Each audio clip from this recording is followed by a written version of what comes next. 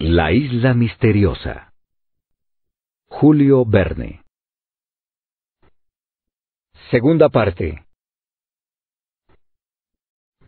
Capítulo 16. Los remordimientos del salvaje, a quien dejan libre. Sí, el desdichado había llorado. Algún recuerdo había atravesado su espíritu, y según la expresión de Ciro Smith, había vuelto a ser hombre por medio de las lágrimas. Los colonos le dejaron en la meseta un rato y se alejaron un poco para que pudiese llorar libremente. Pero no pensó aprovecharse de aquella libertad para huir, y Ciro Smith lo llevó otra vez al Palacio de Granito. Dos días después de esta escena, el desconocido pareció inclinarse poco a poco a participar de la vida común. Era evidente que oía, que comprendía, pero también que se obstinaba en no hablar a los colonos. Porque una tarde, Pencroff, escuchando a la puerta de su cuarto, oyó que se escapaban estas palabras de sus labios. No, aquí yo jamás. El marino refirió estas palabras a sus compañeros. Aquí hay un doloroso misterio, dijo Ciro Smith. El desconocido había comenzado a utilizar los instrumentos de labranza y trabajaba en la huerta. Cuando se detenía en su tarea, lo cual sucedía con frecuencia, permanecía como concentrado en sí mismo, y, a instancias del ingeniero, los colonos respetaban el aislamiento que parecía querer conservar. Si uno de ellos se le acercaba, retrocedía. Se escapaban de su pecho sollozos continuos, como si hubiera querido romper a llorar.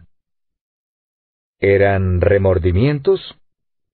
Podía creerse así, y Gedeón Spilett no pudo menos un día de hacer esta observación. Si no habla, sin duda tendrá cosas demasiado graves que decir.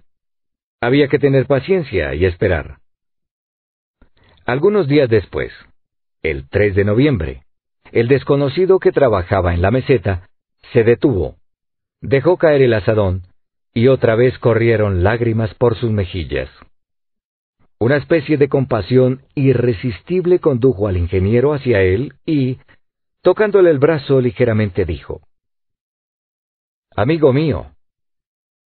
El desconocido trató de evitar las miradas de Ciro, y al quererle dar la mano retrocedió. Amigo mío, dijo Ciro Smith con voz más firme, míreme. Lo quiero. El desconocido miró al ingeniero y pareció hallarse bajo su influencia, como un magnetizado bajo el poder de su magnetizador. Quiso huir, pero entonces se produjo en su fisonomía una especie de transformación. Sus miradas lanzaron relámpagos. Acudieron palabras a sus labios. No podía contenerse. Cruzó los brazos y con voz sorda preguntó. ¿Quiénes son ustedes? Náufragos como usted, contestó el ingeniero, con profunda emoción. Le hemos traído aquí entre sus semejantes. ¿Mis semejantes? No los tengo. Está entre amigos. ¿Amigos? ¿Yo? ¿Amigos? exclamó el desconocido, ocultando la cabeza entre las manos. No, jamás, jamás. Déjeme, déjeme. Enseguida huyó hacia el lado de la meseta que dominaba el mar, y allí permaneció largo tiempo inmóvil. Ciro Smith se reunió con sus compañeros y les contó lo que acababa de suceder. Sí, dijo Gedeón Spilett. Hay un misterio en la vida de este hombre. Ha vuelto a entrar en la humanidad por el camino de los remordimientos.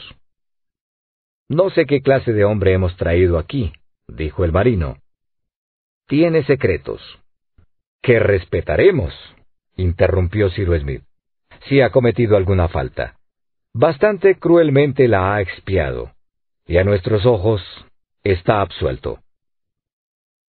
Durante dos horas, el desconocido permaneció solo en la playa bajo la influencia de los recuerdos que se le presentaban de su pasado. pasado funesto sin duda, y los colonos, sin perderlo de vista, no trataron de turbar su soledad. Sin embargo, al cabo de dos horas, pareció haber tomado una resolución y fue a buscar a Sir Smith. Tenía los ojos enrojecidos por el llanto, pero ya no lloraba. Toda su fisonomía tenía el sello de una humanidad profunda. Parecía tímido, avergonzado, humillado, y su mirada fija en el suelo. Señor, dijo a Ciro Smith, ¿son ingleses? No, contestó el ingeniero, somos norteamericanos. Ah, dijo el desconocido, y después murmuró estas palabras. Lo prefiero. ¿Y usted, amigo? preguntó el ingeniero. Inglés, contestó precipitadamente. Y como si le hubiera pesado decir aquellas palabras, se fue a la playa, recorriéndola desde la casa hasta la desembocadura del río de la Merced, en un estado de agitación. Luego, habiendo pasado cerca de Harvard, se detuvo y con voz ahogada le preguntó, ¿En qué mes estamos? Noviembre, contestó el muchacho. ¿Qué año? 1866. ¡Doce años! ¡Doce años! exclamó.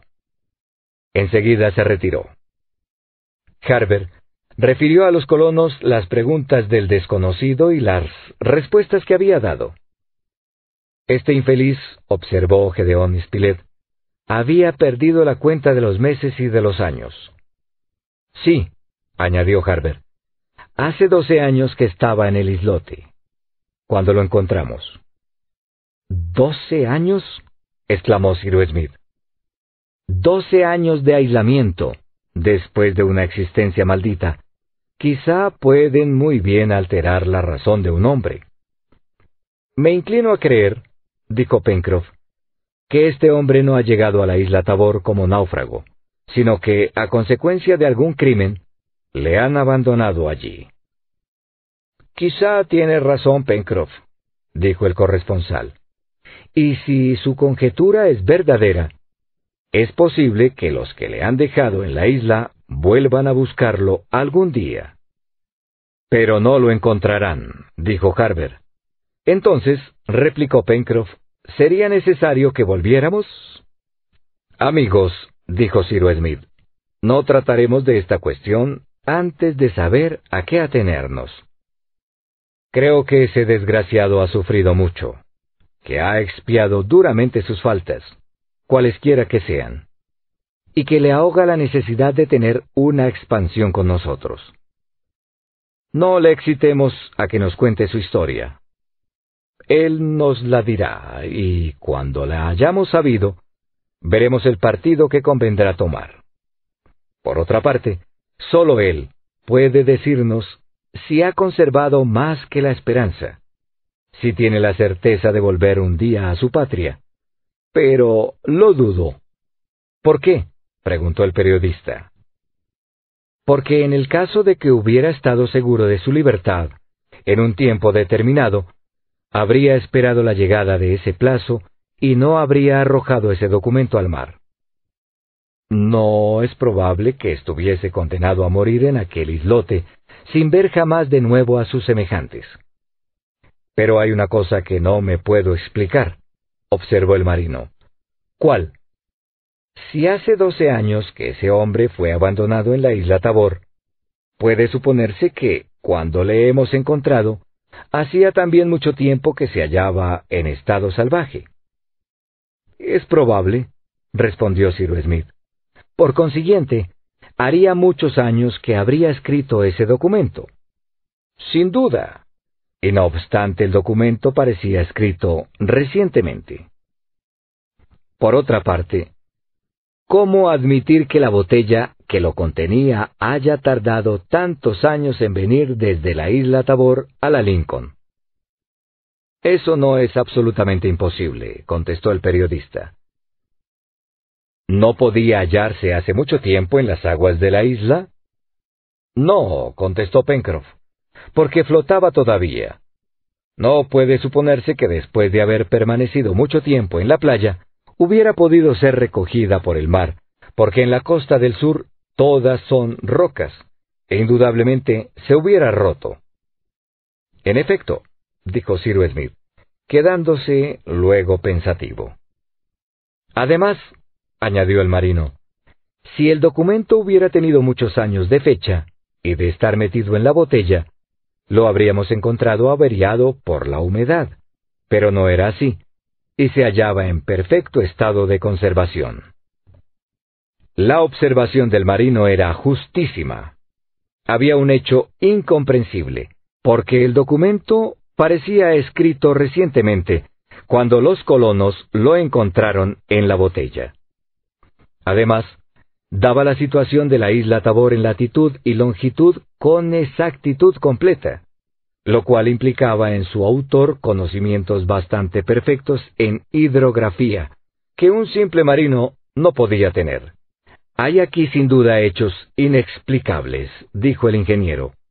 Pero no obliguemos a nuestro compañero a que hable.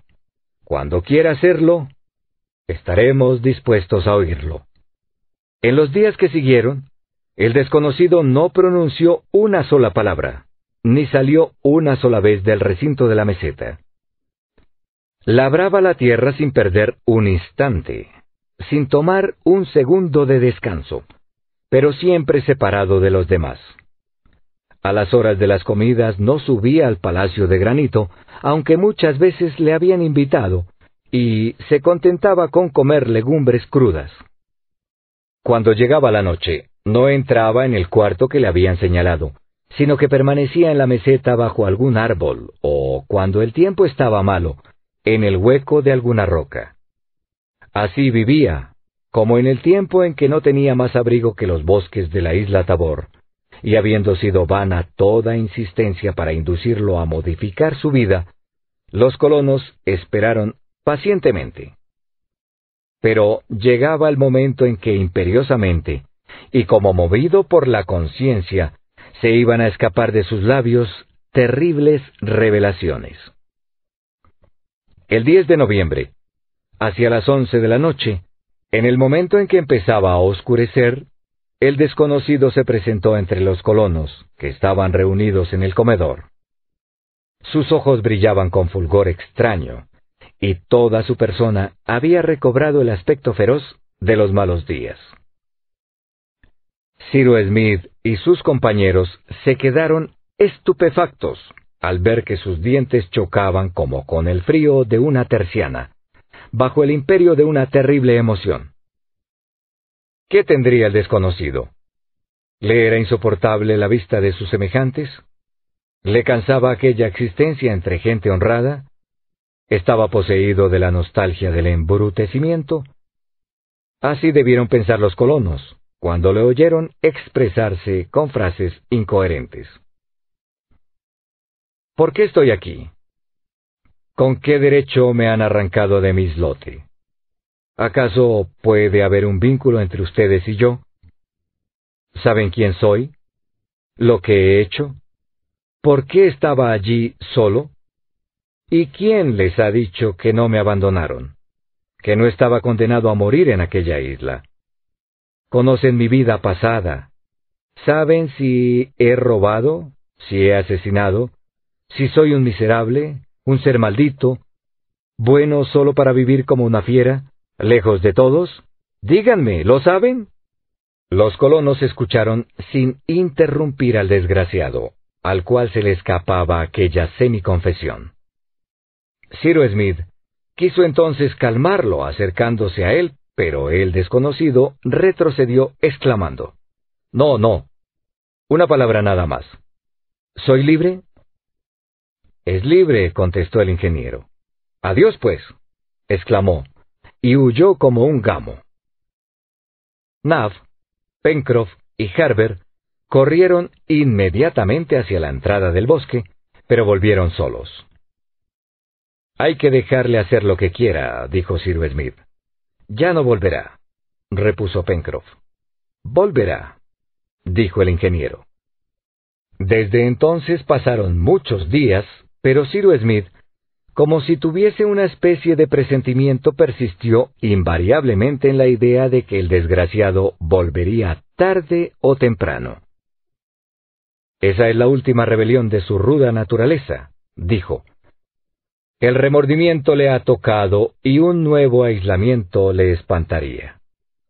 Entretanto, continuaron los trabajos tanto en la meseta de la Gran Vista como en la dehesa, donde Ciro Smith tenía la intención de edificar una alquería. Huelga decir que las simientes recogidas por Harber en la isla Tabor fueron sembradas con gran cuidado en la tierra preparada al efecto. La meseta formó entonces una inmensa huerta bien distribuida, bien conservada, y que no dejaba ociosos los brazos de los colonos. Siempre había algo que hacer. A medida que las legumbres se habían multiplicado, había sido necesario ensanchar los cuadros que tendían a hacerse verdaderos campos y reemplazar las praderas. Pero el forraje abundaba en las demás partes de la isla y los onagros no debían temer que les faltase alimento. Más valía, por otra parte, transformar en huerta la meseta de la Gran Vista, defendida por su profundo cinturón de ríos, y sacar fuera los prados que no tenían necesidad de ser protegidos contra las depredaciones de los cuadrumanos y de los cuadrúpedos. El 15 de noviembre se hizo la tercera cosecha. El campo de trigo se había aumentado extraordinariamente en superficie desde que se había sembrado el primer grano hacía 18 meses. La segunda cosecha, de 600.000 granos, produjo esa vez más de 500 millones de granos. La colonia era rica en trigo, porque bastaba sembrar algunos selemines para asegurar la cosecha anual y poder alimentar hombres y bestias. Se hizo la recolección y se dedicó la última quincena del mes de noviembre a las tareas de panificación. En efecto, se tenía grano, pero no harina, y había que instalar un molino. Ciro Smith hubiera podido utilizar la segunda cascada que caía sobre el río de la Merced para establecer su motor, pues la primera estaba ocupada en mover los mazos del batán. Pero después de una madura discusión se decidió que se estableciera un sencillo molino de viento en las alturas de la Gran Vista. La construcción de este molino no ofrecía más dificultades que la del otro. Y por otra parte, era seguro que no faltaría el viento en aquella meseta expuesta a las brisas del mar. Sin contar, dijo Pencroff, que este molino de viento será más alegre y producirá buen efecto en el paisaje. Pusieron manos a la obra, eligiendo maderos para el armazón y el mecanismo del molino. Varias piedras grandes de asperón, que se hallaban al norte del lago, podían transformarse fácilmente en muelas, y en cuanto a las aspas, la inagotable cubierta del globo les daría la tela necesaria. Ciro Smith formó los planos y se eligió el sitio donde debía levantarse el molino, un poco a la derecha del corral y cerca de la orilla del lago. Todo el armazón debía descansar sobre un eje mantenido por gruesos maderos de modo que pudiese girar con todo el mecanismo que contenía, según las exigencias del viento. La tarea quedó pronto concluida.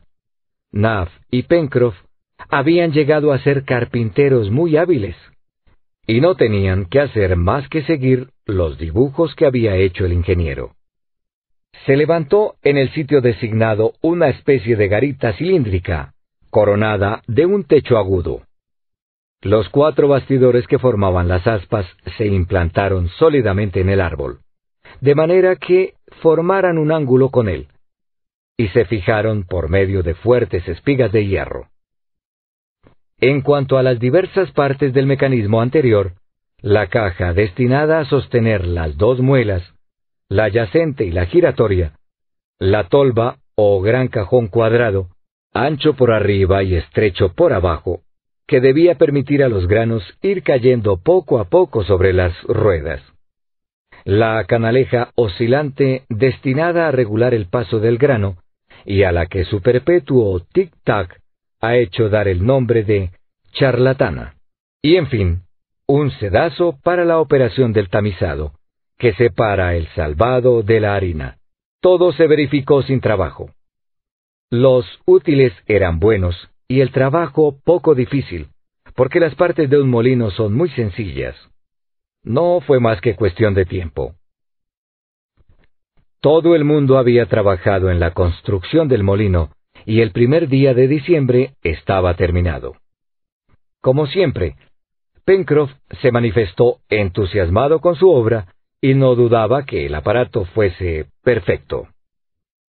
Ahora, dijo, un buen viento y vamos a moler nuestra primera cosecha. Un buen viento, sí, contestó el ingeniero, pero no demasiado viento, Pencroff. Bah. Nuestro molino girará así más deprisa. No es necesario que gire tan deprisa, repuso Sir Smith.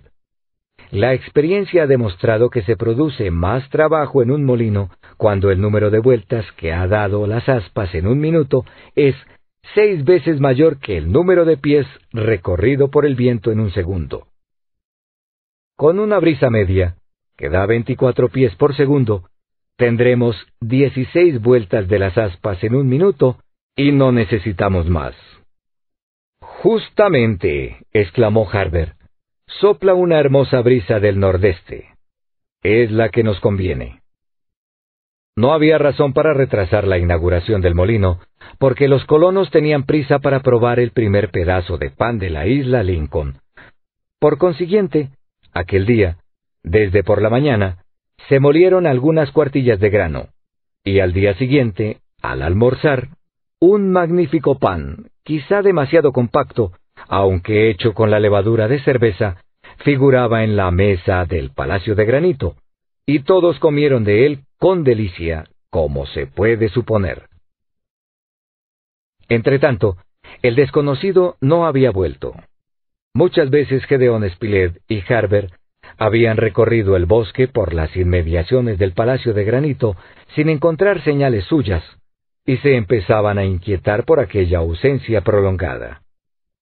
Sin duda el antiguo salvaje de la isla Tabor no podía encontrar dificultad para vivir en aquellos bosques, tan abundantes en caza, pero no era de temer que recobrase sus hábitos y que aquella independencia reanimase sus instintos feroces. Sin embargo, Ciro Smith, por una especie de presentimiento, persistía en decir que el fugitivo volvería. Sí, volverá, repetía con una confianza de la cual no participaban sus compañeros. Cuando ese desgraciado estaba en la isla Tabor, sabía que se hallaba solo, pero aquí sabe que sus semejantes le esperan y, ya que ha hablado a medias de su vida pasada, ese pobre arrepentido nos la contará toda, y desde ese día no volverá a separarse de nosotros. Los sucesos iban a dar razón a Cyrus Smith. El 3 de diciembre, Harbert se había alejado de la meseta de la Gran Vista para ir a pescar a la orilla meridional del lago. Iba sin armas, y hasta entonces no habían tenido necesidad de tomar ninguna precaución, pues los animales peligrosos no se dejaban ver en aquella parte de la isla. Pencroff y Naff trabajaban en el corral y Ciro Smith y Spilett estaban ocupados en las chimeneas fabricando sosa, por haberse agotado la provisión de jabón. De repente, resonaron grandes gritos. ¡Socorro! ¡Socorro! Ciro Smith y el periodista estaban demasiado distantes para oír aquellos gritos, pero Pencroff y Nav abandonaron a toda prisa el corral y se precipitaron hacia el lago. Antes que ellos, el desconocido, cuya presencia en aquel sitio nadie hubiera podido sospechar, atravesó el arroyo de la glicerina, que separaba la meseta del bosque, y saltó a la orilla opuesta. Estaba Harbert enfrente de un jaguar, semejante al matado en el promontorio del reptil. Sorprendido, se mantenía en pie apoyado en un árbol, mientras el animal, recogiéndose sobre sí mismo, se preparaba para lanzarse sobre el joven. Pero el desgraciado, sin más armas que el cuchillo, se precipitó sobre la temible fiera, la cual se volvió contra aquel nuevo adversario. La lucha fue corta. El desconocido tenía una fuerza y una destreza prodigiosas. Asió al jaguar por la garganta con mano poderosa, apretándolo como con unas tenazas, sin cuidarse de las garras de la fiera que penetraban en sus carnes, y con la otra mano le hundió el cuchillo en el corazón. El jaguar cayó. El desconocido le empejó con el pie e iba a huir de nuevo cuando los colonos llegaron al teatro de la lucha, y Harber, abrazándose a él, exclamó, No, no se irá así. Ciro Smith se acercó al desconocido, cuyo ceño se frunció al verlo. La sangre corría por sus hombros bajo su chaqueta desgarrada, pero no hacía caso. Amigo, le dijo Ciro Smith, acabamos de contraer con usted una deuda de gratitud. Ha arriesgado su vida por salvar a nuestro hijo. ¿Mi vida? murmuró el desconocido. ¿Y qué vale mi vida? Menos que nada. Está herido. Poco importa. ¿Querrá darme su mano? Y mientras Harber trataba de tomar aquella mano que acababa de salvarlo, el desconocido se cruzó de brazos, levantó el pecho, brillaron sus ojos, pareció que quería huir, pero enseguida, haciendo un violento esfuerzo sobre sí mismo, dijo en tono brusco, ¿Quiénes son y qué pretenden ser para mí? Era la primera vez que preguntaba la historia de los colonos. Tal vez contándole aquella historia, el desconocido referiría la suya. En pocas palabras, Ciro Smith le puso al corriente de todo lo que había pasado desde su partida de Richmond, contó cómo habían llegado a la isla y habían adquirido los recursos de que disponían. El desconocido le escuchaba con atención profunda. Después, el ingeniero le dijo los nombres y cualidades de todos. Gedeon Spilett, Harber, Pencroff, Nav y él. Y añadió que la mayor alegría que habían experimentado en la isla Lincoln era haber visto aumentar la colonia con un compañero venido de la isla Tabor. Al oír esas palabras, el desconocido se ruborizó, abatió la cabeza sobre el pecho y se reflejó en su rostro un sentimiento de confusión. Y ahora que nos conoce, añadió Ciro Smith, ¿quiere darnos la mano? No, contestó el desconocido con voz sorda. No. Ustedes son personas honradas, mientras que yo... Capítulo 17 El salvaje, cuenta su pasada vida de criminal. Estas últimas palabras justificaban los presentimientos de los colonos. Había en la vida de aquel infeliz algún funesto pasado, espiado quizá a los ojos de los hombres, pero del cual su conciencia no le había absuelto todavía. En todo caso, el culpado tenía remordimientos, se arrepentía, y sus nuevos amigos habían estrechado cordialmente aquella mano que le pedían. Pero él se creía indigno de tenderla a hombres honrados.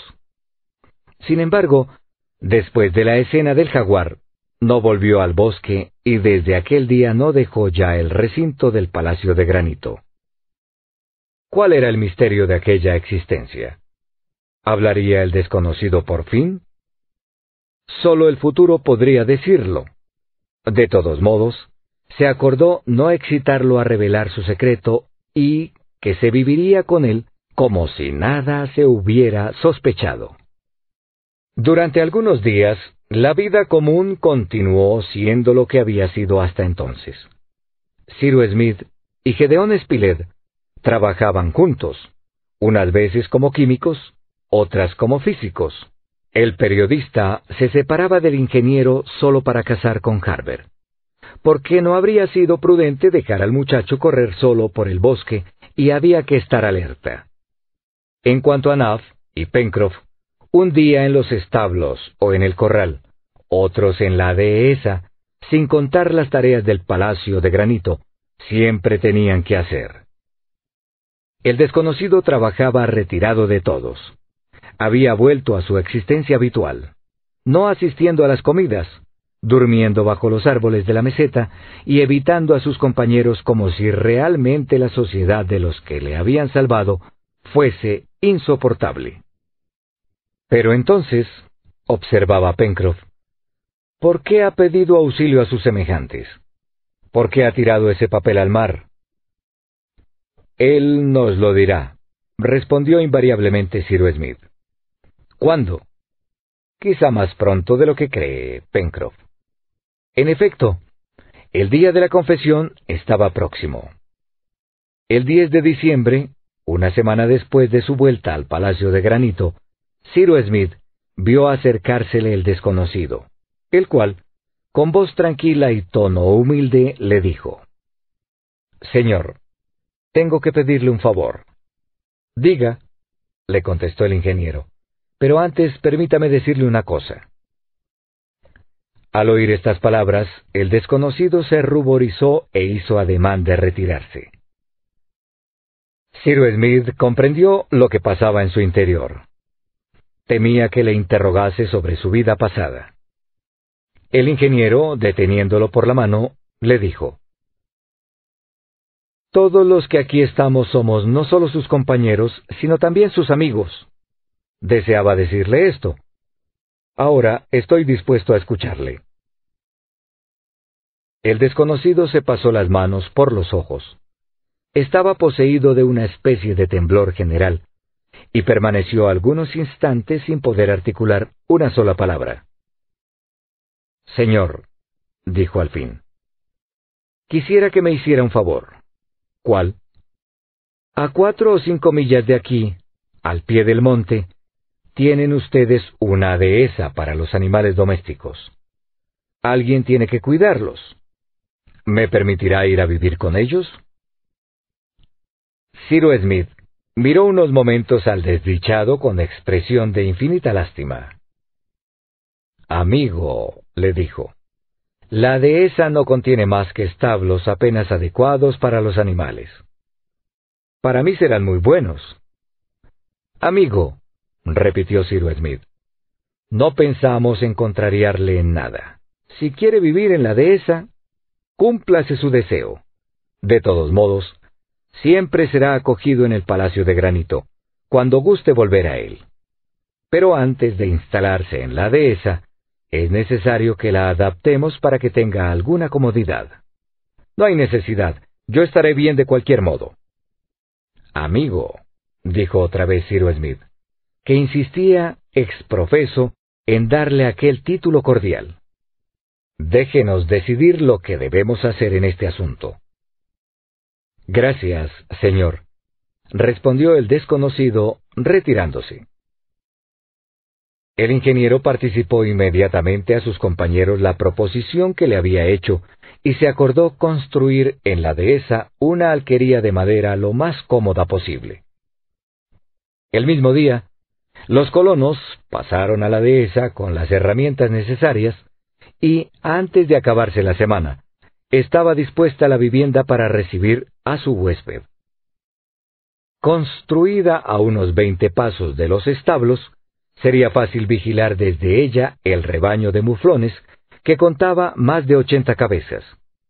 Se hicieron algunos muebles, cama, mesa, bancos, armario, cofre, y se trasladaron municiones y útiles. Por lo demás, el desconocido no había ido a ver su nueva morada y había dejado a los colonos trabajar en ella mientras él se ocupaba en la meseta, queriendo dar la última mano a su tarea. En efecto, gracias a su actividad, todas las tierras estaban labradas y preparadas para recibir la simiente cuando llegara el momento oportuno. El 20 de diciembre se acabaron todas las operaciones de instalación en la dehesa. El ingeniero anunció al desconocido que su vivienda estaba preparada para recibirlo, y éste respondió que iría a dormir aquella misma noche. Al atardecer, los colonos estaban reunidos en el salón del Palacio de Granito, Eran las ocho, hora en la cual su compañero debía marcharse a su nueva morada. No queriendo molestarle, imponiéndole con su presencia una despedida que quizá le habría sido penosa, le habían dejado solo y habían subido a la casa. Hacía pocos instantes que estaban conversando en el salón, cuando sonó un ligero golpe en la puerta, y casi al mismo tiempo entró el desconocido que sin más preámbulos dijo, Señores, antes de dejarles conviene que sepan mi historia. Voy a referírsela. Aquellas palabras causaron viva impresión en Ciro Smith y sus compañeros. El ingeniero se levantó y dijo, No le preguntamos nada, amigo. Está en su derecho guardando el silencio. Mi deber es hablar. Siéntese. Permaneceré de pie. Como guste. Estamos dispuestos a oírle, repuso Ciro Smith. El desconocido estaba en un rincón de la sala, un poco protegido por la penumbra. Tenía la cabeza descubierta y los brazos cruzados sobre el pecho, y en aquella postura, con voz sorda y como quien se esfuerza para hablar, les hizo el siguiente relato, que no fue interrumpido una sola vez por el auditorio. El 20 de diciembre de 1854, un yate de recreo y de vapor, llamado Duncan, perteneciente al Lair escocés, Lord Glenarvan, echaba el ancla en el cabo Mernouilly, en la costa occidental de Australia, a la altura del paralelo 37. A bordo de aquel yate iban Lord Glenarvan, su mujer, un mayor del ejército inglés, un geógrafo francés, una joven y un mancebo, ambos hijos del capitán Gran, cuyo buque, el Britannia, se había perdido un año antes con todo lo que llevaba. El Duncan iba mandado por el capitán John Mangles y tripulado por unos quince hombres de marinería. La causa de hallarse el yate en aquella época en las costas de Australia era la siguiente.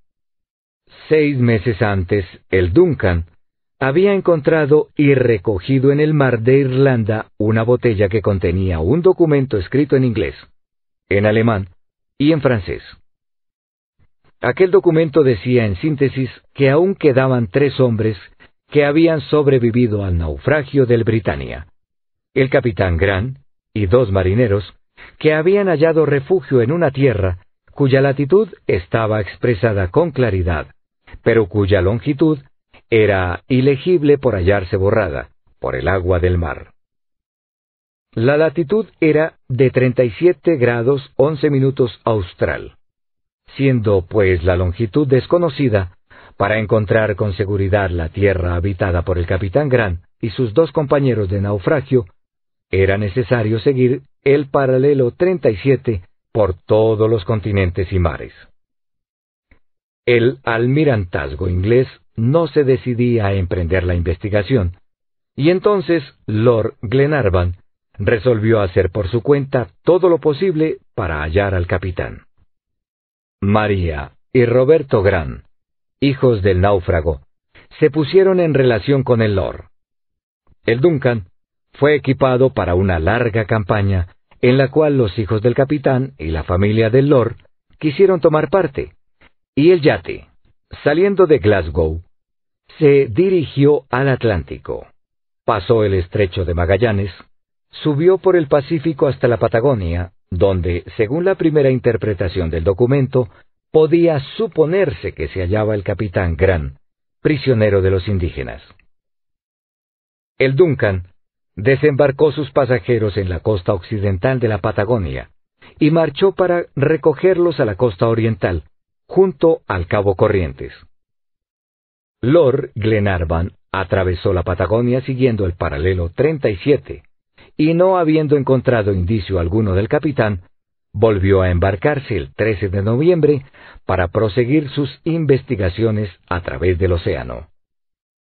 Después de haber visitado infructuosamente las islas Tristán de Acuña y Ámsterdam, situadas en su rumbo, llegó el Duncan, como he dicho, al cabo Bemouji en la costa de Australia, el 20 de diciembre de 1854.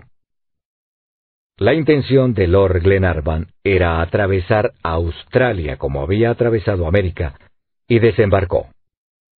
A pocas millas de la playa había una granja, perteneciente a un irlandés, que ofreció hospitalidad a los viajeros.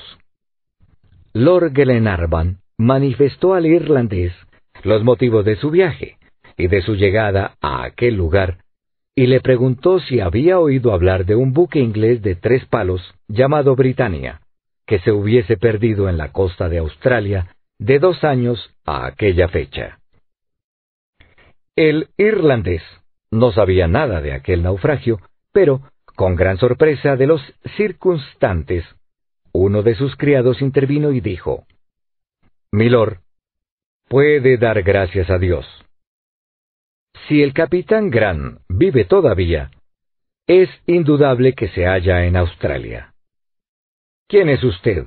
preguntó Lord Glenarvan.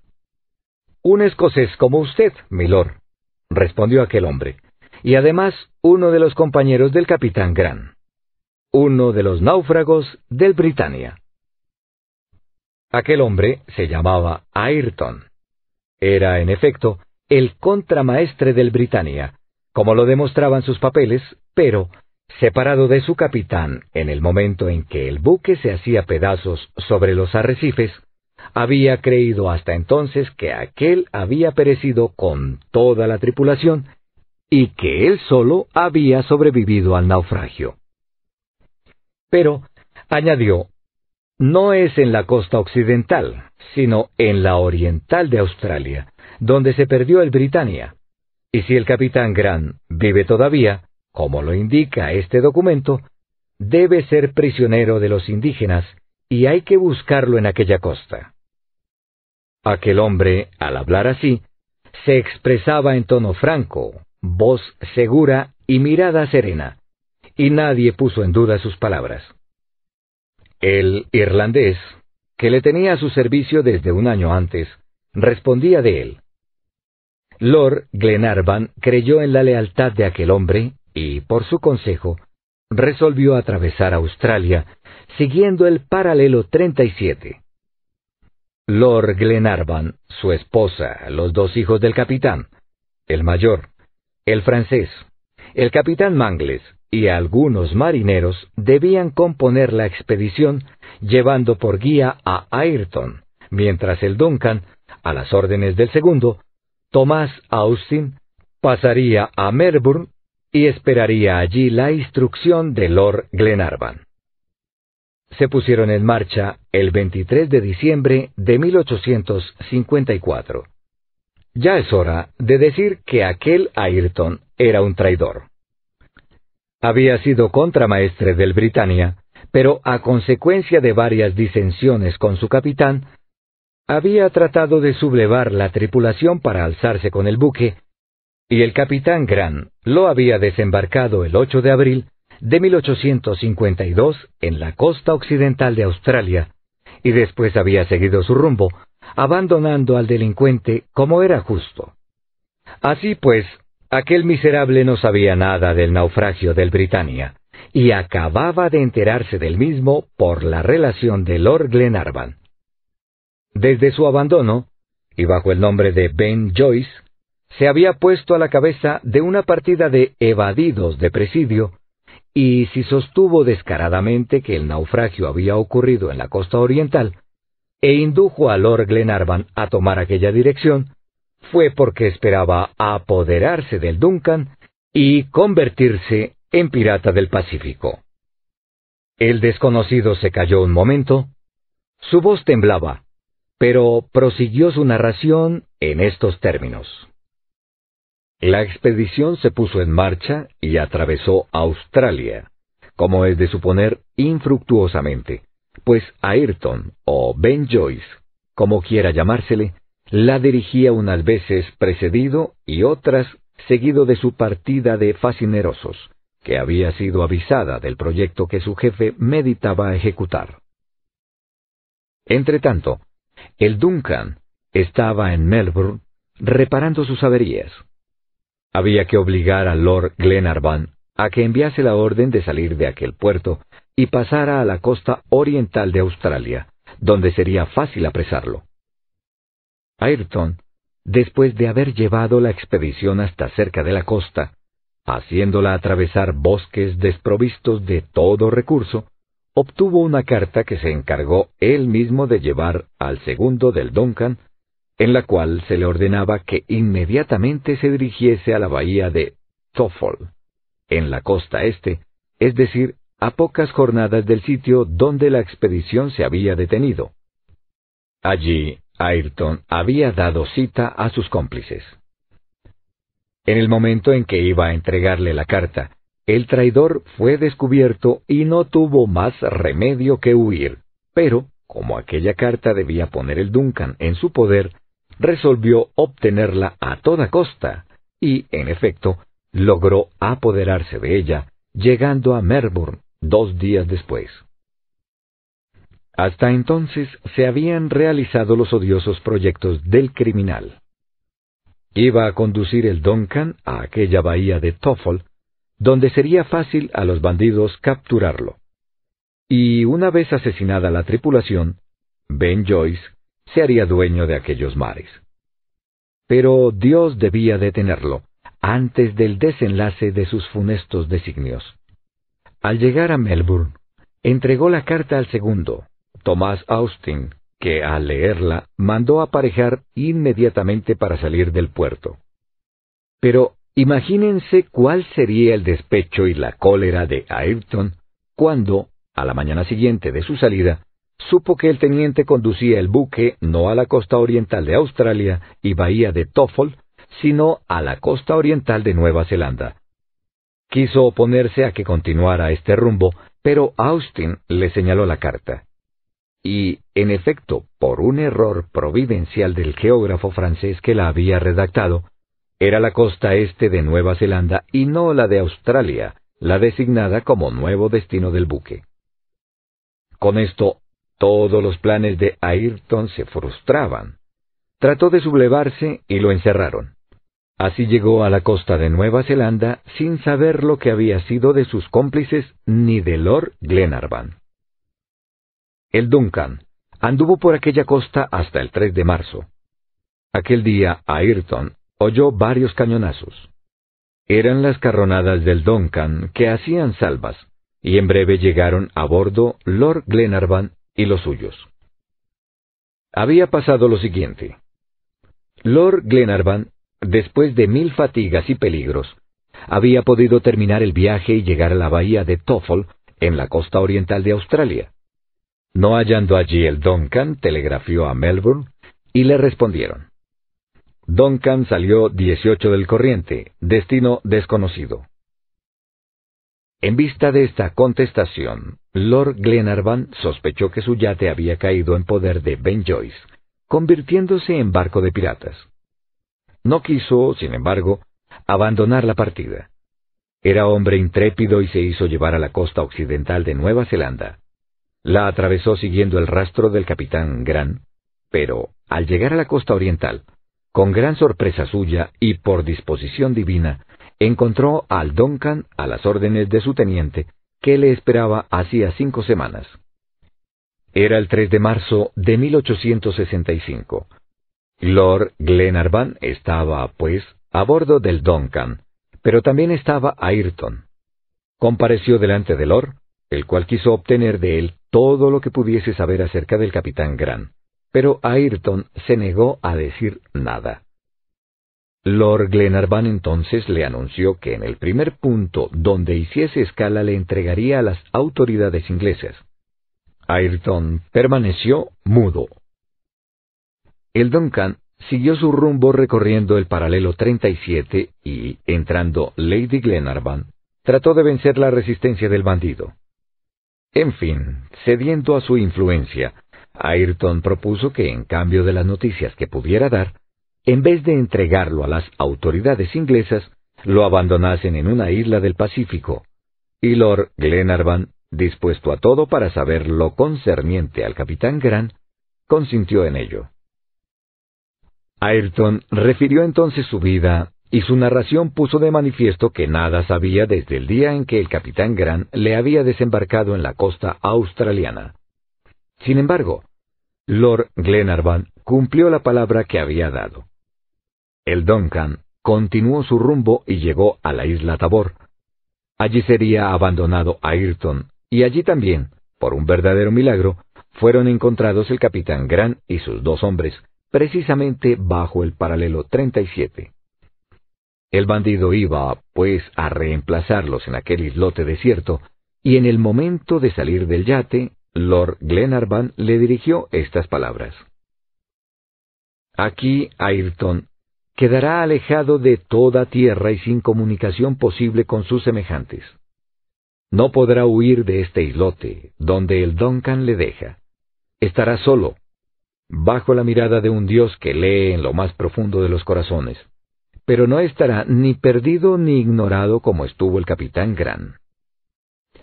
Por indigno que sea del recuerdo de los hombres, éstos se acordarán de usted, ya que sé dónde está, y sabiéndolo, sabré dónde encontrarlo.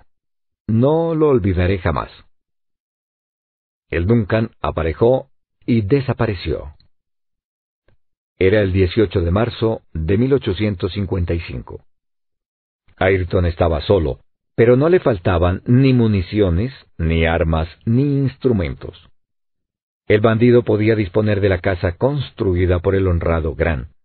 No tenía que hacer más que vivir y expiar en la soledad los crímenes que había cometido. Señores, se arrepintió, se avergonzó de sus crímenes y fue muy desgraciado. Pensó que, si los hombres volvían a recogerlo a aquel islote, debían encontrarlo digno de volver a vivir entre ellos. ¿Cómo sufrió el miserable? ¿Cuánto se esforzó para regenerarse por el trabajo? ¿Cuánto rezó para hacerse otro por la oración? Durante dos o tres años continuó así, pero después abatido por su aislamiento, mirando siempre si aparecía algún buque por el horizonte de su isla, preguntábase si acabaría pronto la expiación. Sufrió como nadie ha sufrido jamás. Qué dura es la soledad para un alma roída por el remordimiento. Pero sin duda, el cielo no le consideraba bastante castigado, porque el desdichado sintió poco a poco que se iba convirtiendo en salvaje. El embrutecimiento le iba invadiendo lentamente. No puedo decir si tardó dos años o cuatro, pero, en fin, llegó a ser el miserable que ustedes encontraron. No necesito decir a ustedes, señores, que Ayrton o Ben Joyce y yo somos una misma persona. Cyrus Smith y sus compañeros se habían levantado al terminar esta narración y habría sido difícil decir hasta qué punto les había conmovido el espectáculo de tanta miseria, tantos dolores y tal desesperación.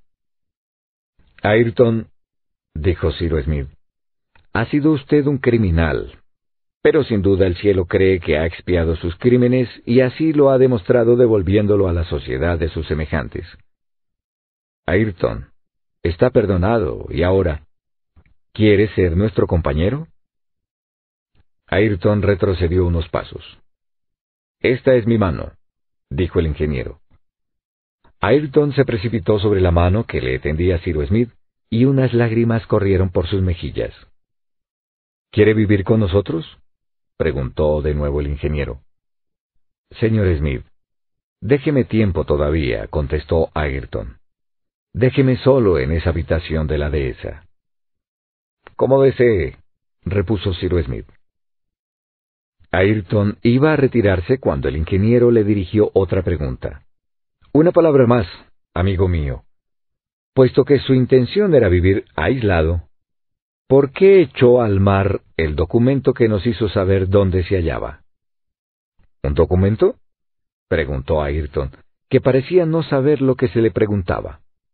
Sí, el papel encerrado en una botella que nosotros encontramos y que daba la situación exacta de la isla Tabor.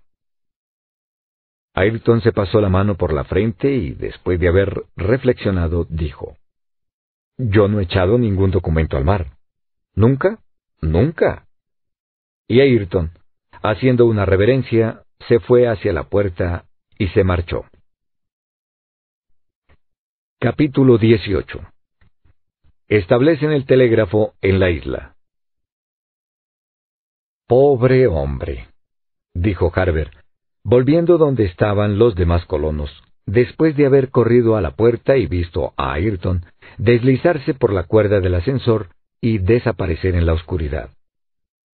Volverá, dijo Ciro Smith. ¿Pero qué significa esto, señor Ciro? exclamó Pencroff. No es Ayrton el que echó la botella al mar. Entonces, ¿quién puede haber sido? La pregunta no podía estar más a tono. Él, contestó Nav, pero el infeliz estaba ya medio loco. Sí, dijo Harbert, y no sabía lo que hacía. Eso no puede explicarse sino de ese modo, amigos míos, respondió Ciro Smith.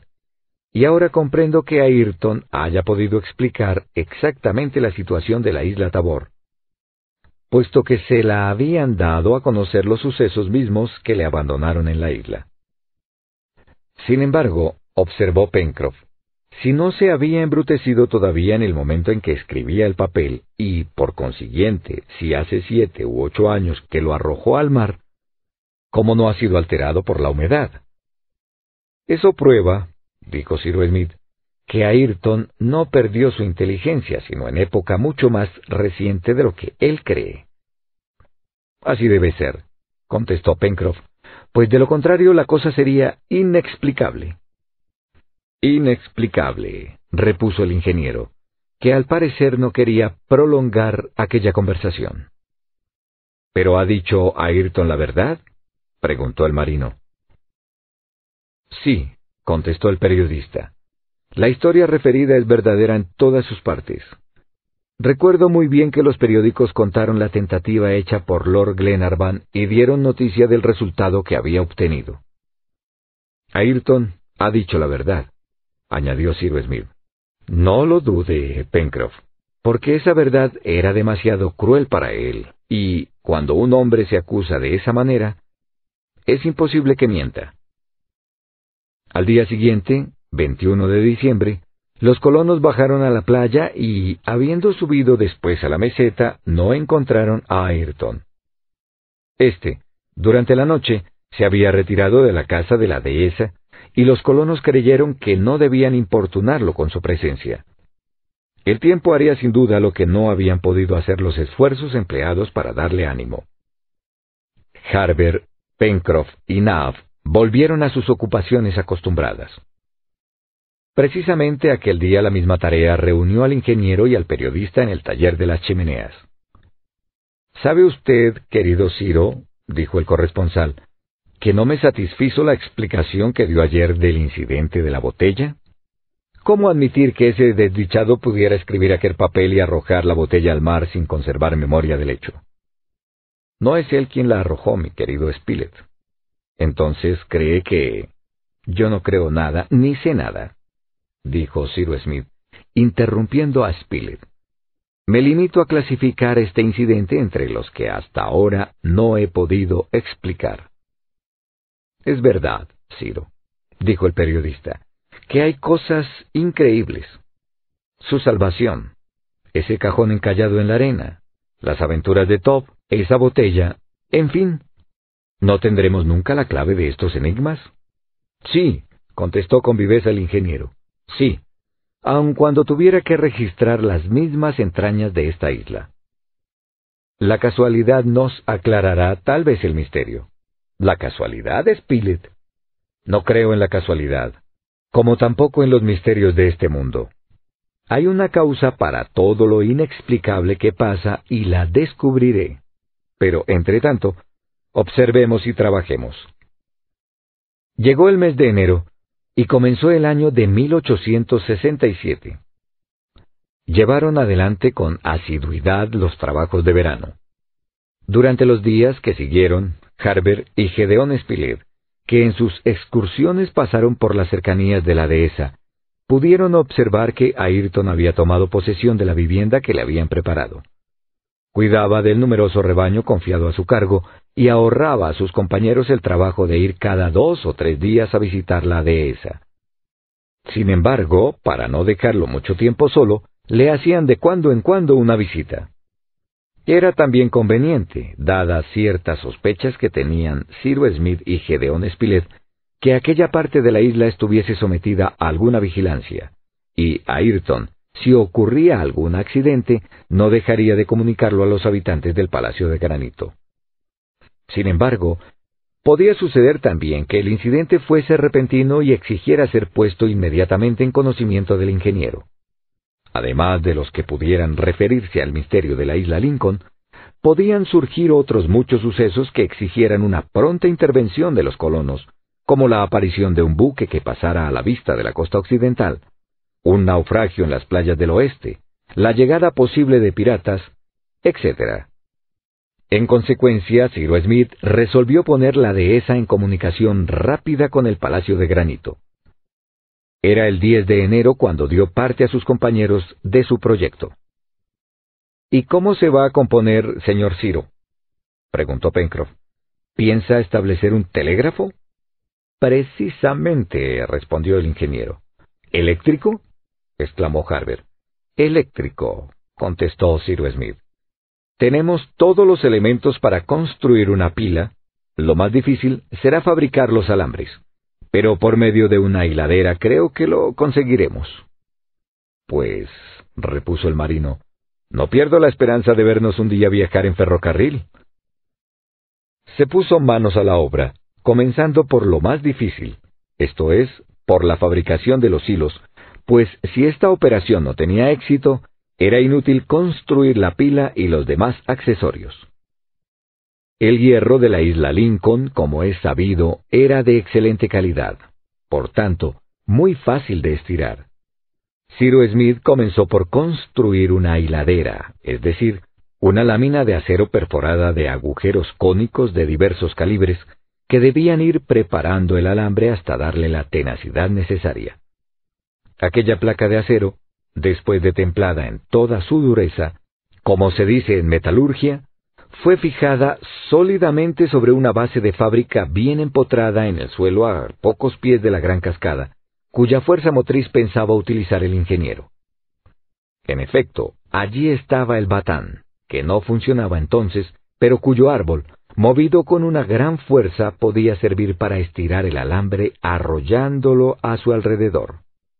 La operación fue delicada y exigió mucho tiempo.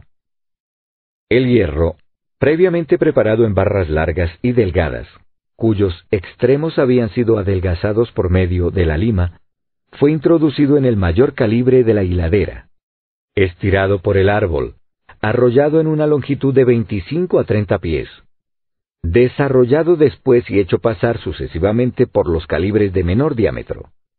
Finalmente, el ingeniero obtuvo alambres de 40 a 50 pies de longitud, que era fácil soldar y tender en una distancia de cinco millas, que era la que separaba la dehesa del recinto del Palacio de Granito. Pocos días se necesitaron para llevar a buen término aquella tarea y, cuando se puso la máquina en movimiento, Ciro Smith dejó a sus camaradas desempeñar el oficio de alambreros y se ocupó en construir su pila. Había que obtener una pila de corriente constante. Sabido es que los elementos de las pilas modernas se componen generalmente de carbón de retorta, de zinc y de cobre. El ingeniero carecía absolutamente de cobre, del cual, a pesar de sus investigaciones, no había encontrado señal alguna en la isla Lincoln. Era necesario prescindir de ese elemento. El carbón de retorta, es decir, ese grafito duro que se encuentra en las retortas de las fábricas de gas después de haber sacado el oxígeno de la hulla, no era imposible producirlo, pero habría sido necesario para ello instalar aparatos especiales, tarea larga y penosa. En cuanto al zinc, se recordará que el cajón encontrado en la punta del pecio tenía un forro de este metal que no podía ser mejor empleado que en aquella ocasión. Ciro Smith, después de haber reflexionado, decidió fabricar una pila muy sencilla, semejante a la que Berkerel imaginó en 1820, en la cual entra como único elemento el zinc. En cuanto a las demás sustancias como ácido azótico y potasa, las tenía a mano. Véase, pues, cómo compuso la pila, cuyos efectos debían ser producidos por la reacción mutua del ácido y de la potasa. Hicieron varios frascos de vidrio, que se llenaron de ácido azótico. El ingeniero los cerró con un tapón atravesado por un tubo de vidrio, obturado en su extremo inferior y destinado a sumergirse en el ácido por medio de una muñeca de arcilla mantenida por una tira de lienzo. En aquel tubo vertió por su extremo superior una disolución de potasa, obtenida previamente por la incineración de diversas plantas, y de esta manera el ácido y la potasa pudieron ejercer uno sobre otro su reacción a través de la arcilla. Ciro Smith tomó enseguida dos hojas de zinc, de las cuales sumergió una en el ácido azótico y otra en la potasa, y al momento se produjo una corriente desde la lámina del frasco a la del tubo. Unidas estas dos por un alambre, la lámina del tubo fue el polo positivo y la del frasco el polo negativo del aparato. Cada frasco produjo, pues, otras tantas corrientes que, reunidas, debían bastar para originar los fenómenos de la telegrafía eléctrica. Tal fue el ingenioso y sencillísimo aparato que construyó Ciro Smith, aparato que debía permitirle establecer una comunicación telegráfica entre el Palacio de Granito y la dehesa. El 6 de febrero comenzó la fijación de los postes, provistos de aisladores de vidrio y destinados a sostener el alambre, que debía seguir el camino del prado. Algunos días después, el hilo estaba tendido y preparado para producir con una velocidad de 100.000 kilómetros por segundo la corriente eléctrica que la Tierra se encargaría de devolver a su punto de partida. Para el Palacio de Granito se fabricaron dos pilas y otra para la dehesa, porque si ésta debía comunicarse con aquel, también el Palacio de Granito podría comunicarse con ella. En cuanto al receptor y al manipulador fueron muy sencillos. En las dos estaciones el alambre se arrollaba a un electroimán, es decir, un pedazo de hierro dulce rodeado de un alambre. Si la comunicación se establecía entre los dos polos, la corriente, partiendo del polo positivo, atravesaba el alambre, pasaba al electroimán, que se imantaba temporalmente y volvía por el suelo al polo negativo. Si la corriente se interrumpía, el electroimán se desimantaba inmediatamente, Bastaba, pues, poner una lámina de hierro dulce delante del electroimán, la cual, atraída durante el paso de la corriente, cesaría cuando ésta se interrumpiera. Obtenido de este modo el movimiento de la lámina de hierro, Ciro Smith, lanzando la corriente eléctrica por el alambre, preguntó si había novedad en la dehesa y poco después recibió de Ayrton una respuesta satisfactoria. Pencroff no cabía en sí de gozo y todos los días por la mañana y tarde enviaba a la dehesa un telegrama, que no quedaba nunca sin respuesta. Este método de comunicación ofrecía dos ventajas positivas. Una, que permitía comprobar la presencia de Ayrton en la dehesa, y otra, que no se le dejaba en completo aislamiento. Por lo demás, Ciro Smith iba a verlo al menos una vez por semana, y Ayrton iba de cuando en cuando al Palacio de Granito, donde siempre era bien recibido. Así transcurrió la buena estación, ocupados los colonos en sus tareas habituales. Los recursos de la colonia, particularmente legumbres y cereales, aumentaban y las plantas llevadas de la isla Tabor habían arraigado perfectamente. La meseta de la Gran Vista presentaba un aspecto satisfactorio. La cuarta cosecha de trigo había sido admirable y, como es de suponer, nadie había pensado en contar si en efecto se componía de los cuatrocientos mil millones de granos calculados. Pencroff tuvo al principio la idea de un recuento, pero renunció inmediatamente y espontáneamente a esa operación, cuando Ciro Smith le demostró que aún contando trescientos granos por minuto, o sea dieciocho mil por hora, hubiera necesitado unos 5.535 años para acabar la operación. El tiempo era magnífico y la temperatura bastante elevada durante el día, mas por la tarde la brisa del mar venía a templar los ardores de la atmósfera y proporcionaba noches frescas a los habitantes del Palacio de Granito. Sin embargo, hubo algunas tempestades que, si bien no de larga duración, descargaron con gran fuerza sobre la isla Lincoln no cesando los relámpagos durante algunas horas y sucediendo sin interrupción el tableteo del trueno. Hacia aquella época la colonia se presentaba muy próspera. Los huéspedes del corral pululaban y los colonos vivían del exceso de su población, hasta el punto de ser ya urgente reducirla a una cifra más moderada.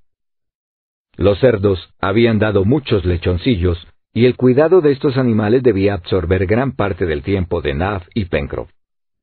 Los onagros, que habían producido dos lindos pollinos, eran montados con frecuencia por Gedeón Spilett y Harber, que se había hecho gran jinete bajo la dirección del periodista, y de cuando en cuando se les enganchaba al carro para trasladar al palacio de granito, leña o carbón de piedra, o los diversos productos minerales que el ingeniero empleaba.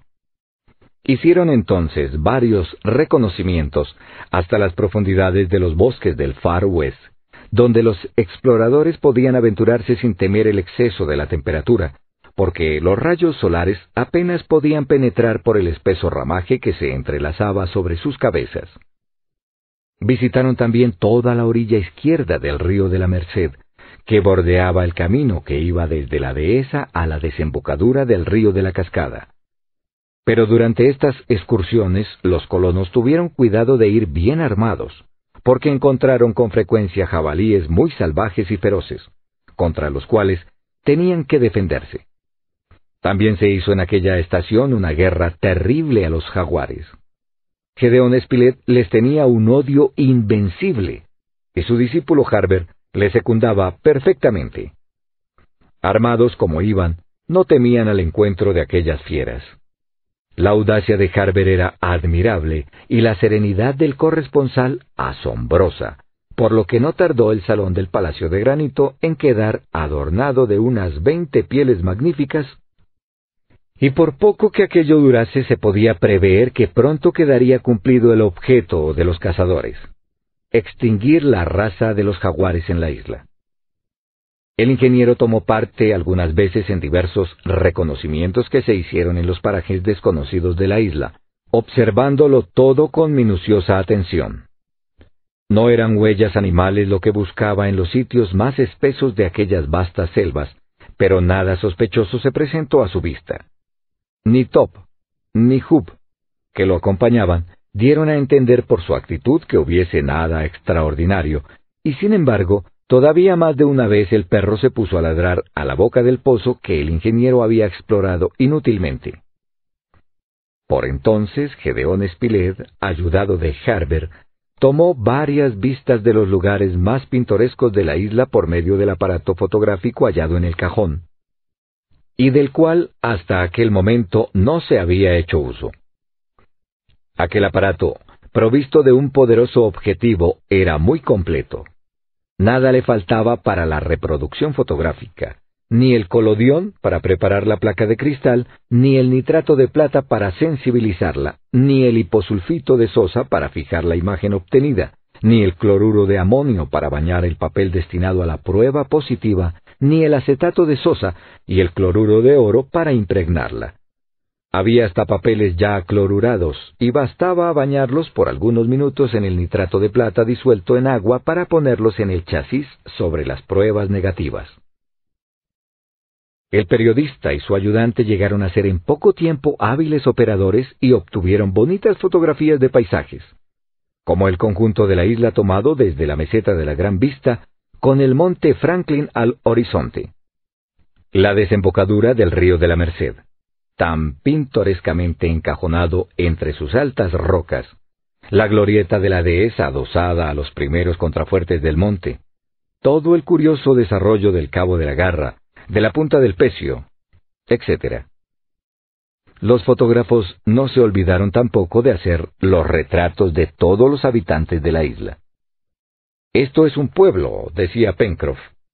Y el marino, encantado de ver su imagen fielmente reproducida adornando las paredes del palacio de granito, miraba complacido aquella exposición como si hubiera estado delante de los más ricos escaparates de Broadway. Hay que advertir que el retrato que mejor salió fue sin duda el del orangután. Maese Hub se había colocado dando a su fisonomía una gravedad imposible de describir, y su imagen estaba, como suele decirse, hablando. diríase que quiere hacernos una mueca. Si Maese Hub no hubiera estado satisfecho de su retrato, habría sido muy descontentadizo, pero en realidad lo estaba y contemplaba su imagen con aire sentimental, que dejaba traslucir cierta dosis de fatuidad. Los grandes calores del estío terminaron con el mes de marzo. El tiempo estuvo algunas veces lluvioso, pero la atmósfera conservaba calor todavía. Aquel mes de marzo, que corresponde al de septiembre de las latitudes boreales, no fue tan bueno como hubiera debido esperarse. Tal vez anunciaba un invierno prematuro y riguroso. Pudo pensarse una mañana, la del 21, que habían hecho ya su aparición las primeras nieves, porque Harber, habiéndose asomado a la ventana, temprano, exclamó.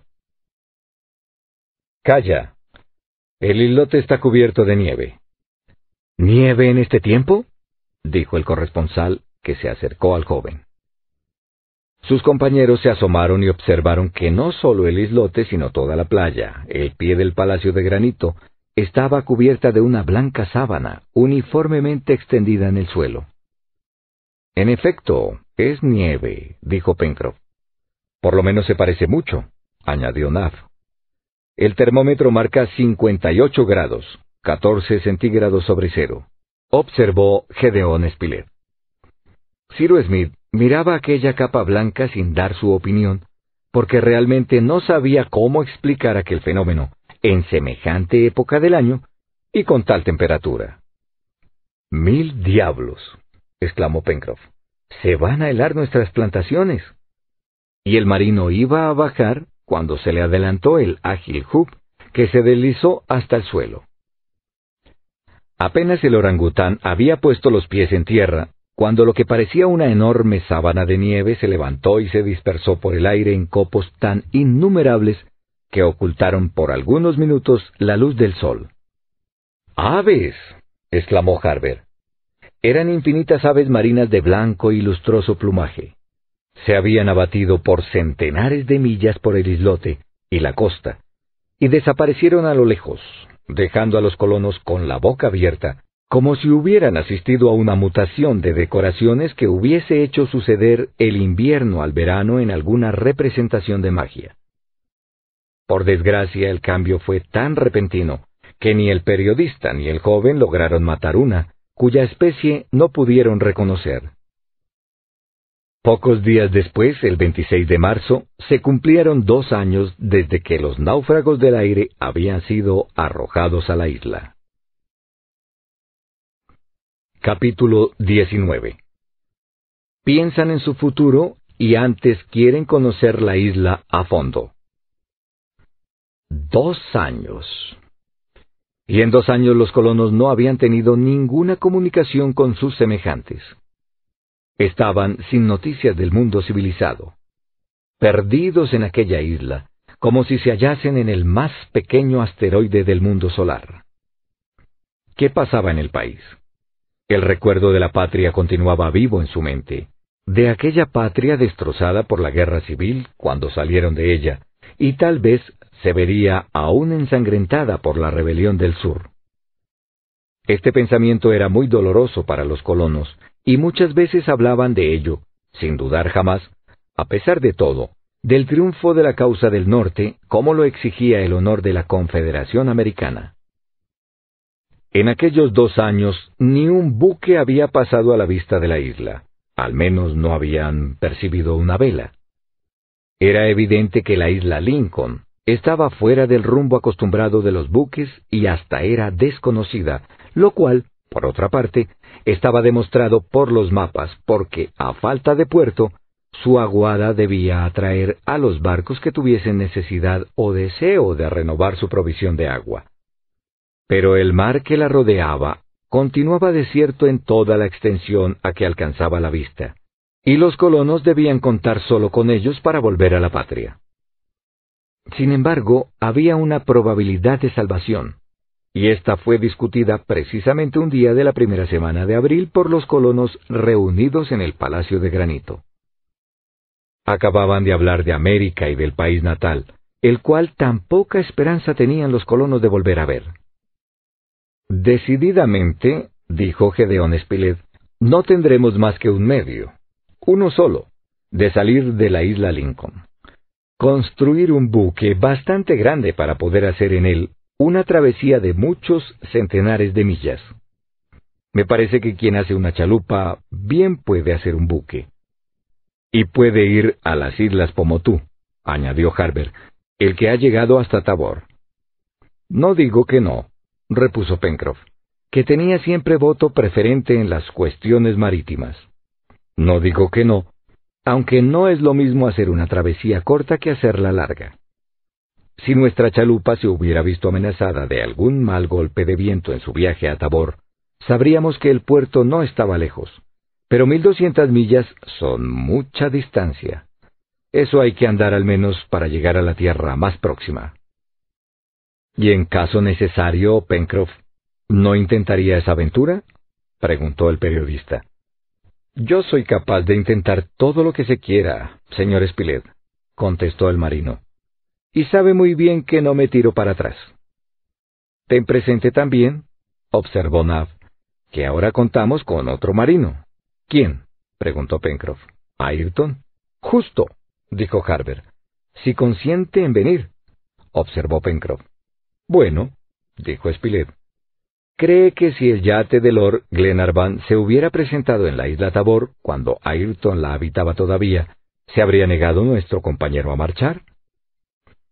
Olvidan, amigos míos, dijo entonces Cyrus Smith, que Ayrton, durante los últimos años de su estancia en aquel islote, había perdido la razón. Pero la cuestión no es esa. La cuestión es si debemos contar entre las probabilidades que tenemos de salvación con la vuelta del buque escocés. Ahora bien, Lord Glenarvan prometió a Ayrton venir a recogerlo a la isla Tabor cuando creyera expiado sus crímenes. Creo que vendrá. Sí, dijo el corresponsal. Añadiré que vendrá pronto, porque hace doce años que Ayrton fue abandonado. Ah, exclamó Pencroff. Estoy de acuerdo en que ese Lord volverá, y hasta en que volverá pronto, pero ¿a dónde arribará? ¿A la isla Tabor o a la Lincoln? Ahí está, sobre todo porque la isla Lincoln no está en ningún mapa, dijo Harbert. Por eso, amigos míos, observó el ingeniero, debemos tomar las precauciones necesarias para poner en la isla Tabor una señal que indique nuestra existencia y la de Ayrton en Lincoln. Evidentemente, repuso el periodista, y nada más fácil que depositar en aquella cabaña, que fue morada del capitán Grant y de Ayrton, una nota que dé la situación de nuestra isla, noticia que Lord Glenarvan o su tripulación no puede menos de encontrar. Es una lástima, dijo el marino, que olvidásemos esa precaución en nuestro primer viaje a la isla Tabor. ¿Y cómo la íbamos a tomar? repuso Harbert. No conocíamos en aquel momento la historia de Ayrton. Ignorábamos que algún día irían en su busca, y, cuando hemos conocido esta historia, la estación estaba muy avanzada y no nos ha permitido volver a la isla Tabor. Sí, dijo Sir Smith. Es demasiado tarde, y habrá que aplazar esa travesía para la primavera próxima. ¿Y si entre tanto viniera el yate escocés? dijo Pencroff. No es probable, repuso el ingeniero, porque Lord Glenarvan no elegirá el invierno para aventurarse en estos mares lejanos. O ha venido a la isla Tabor desde que Ayrton está con nosotros, es decir, desde hace cinco meses, y se ha marchado ya, o vendrá más tarde, y habrá tiempo, cuando lleguen los primeros días buenos de octubre, de ir a la isla Tabor para dejar allí esa nota. Sería una verdadera desgracia, dijo Nav, que el Duncan se hubiese presentado en estos mares durante esos cinco meses. Espero que no, dijo Cyrus Smith, y que el cielo nos haya privado de la mejor probabilidad de salvación que nos queda. Creo, observó Spilett, que de todos modos sabremos a qué atenernos cuando hayamos vuelto a la isla Tabor, porque si los escoceses han estado en ella, necesariamente habrán dejado huellas de su paso. Es evidente, contestó el ingeniero. Así pues, amigos míos, ya que tenemos esta probabilidad de volver a nuestra patria, esperemos con paciencia, Si falla, entonces veremos lo que hemos de hacer.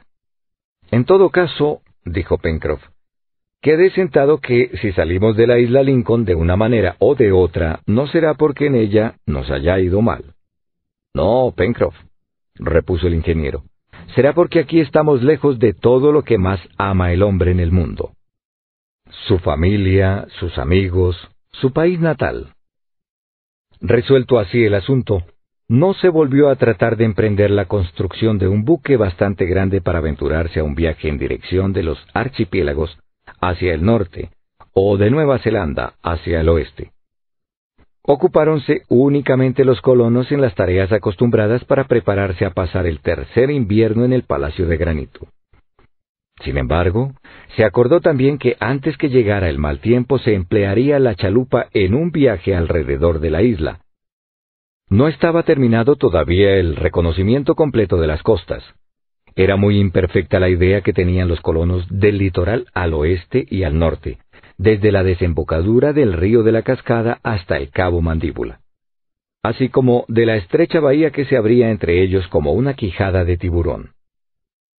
Pencroff propuso aquella excursión. Cyrus Smith la aprobó porque quería examinar por sí mismo toda aquella parte de sus dominios. El tiempo estaba entonces variable, pero el barómetro no oscilaba con movimientos bruscos y podía contarse con poder hacer una navegación feliz. Precisamente en la primera semana de abril, después de una baja barométrica, se señaló la subida por un fuerte viento del oeste que duró cinco o seis días.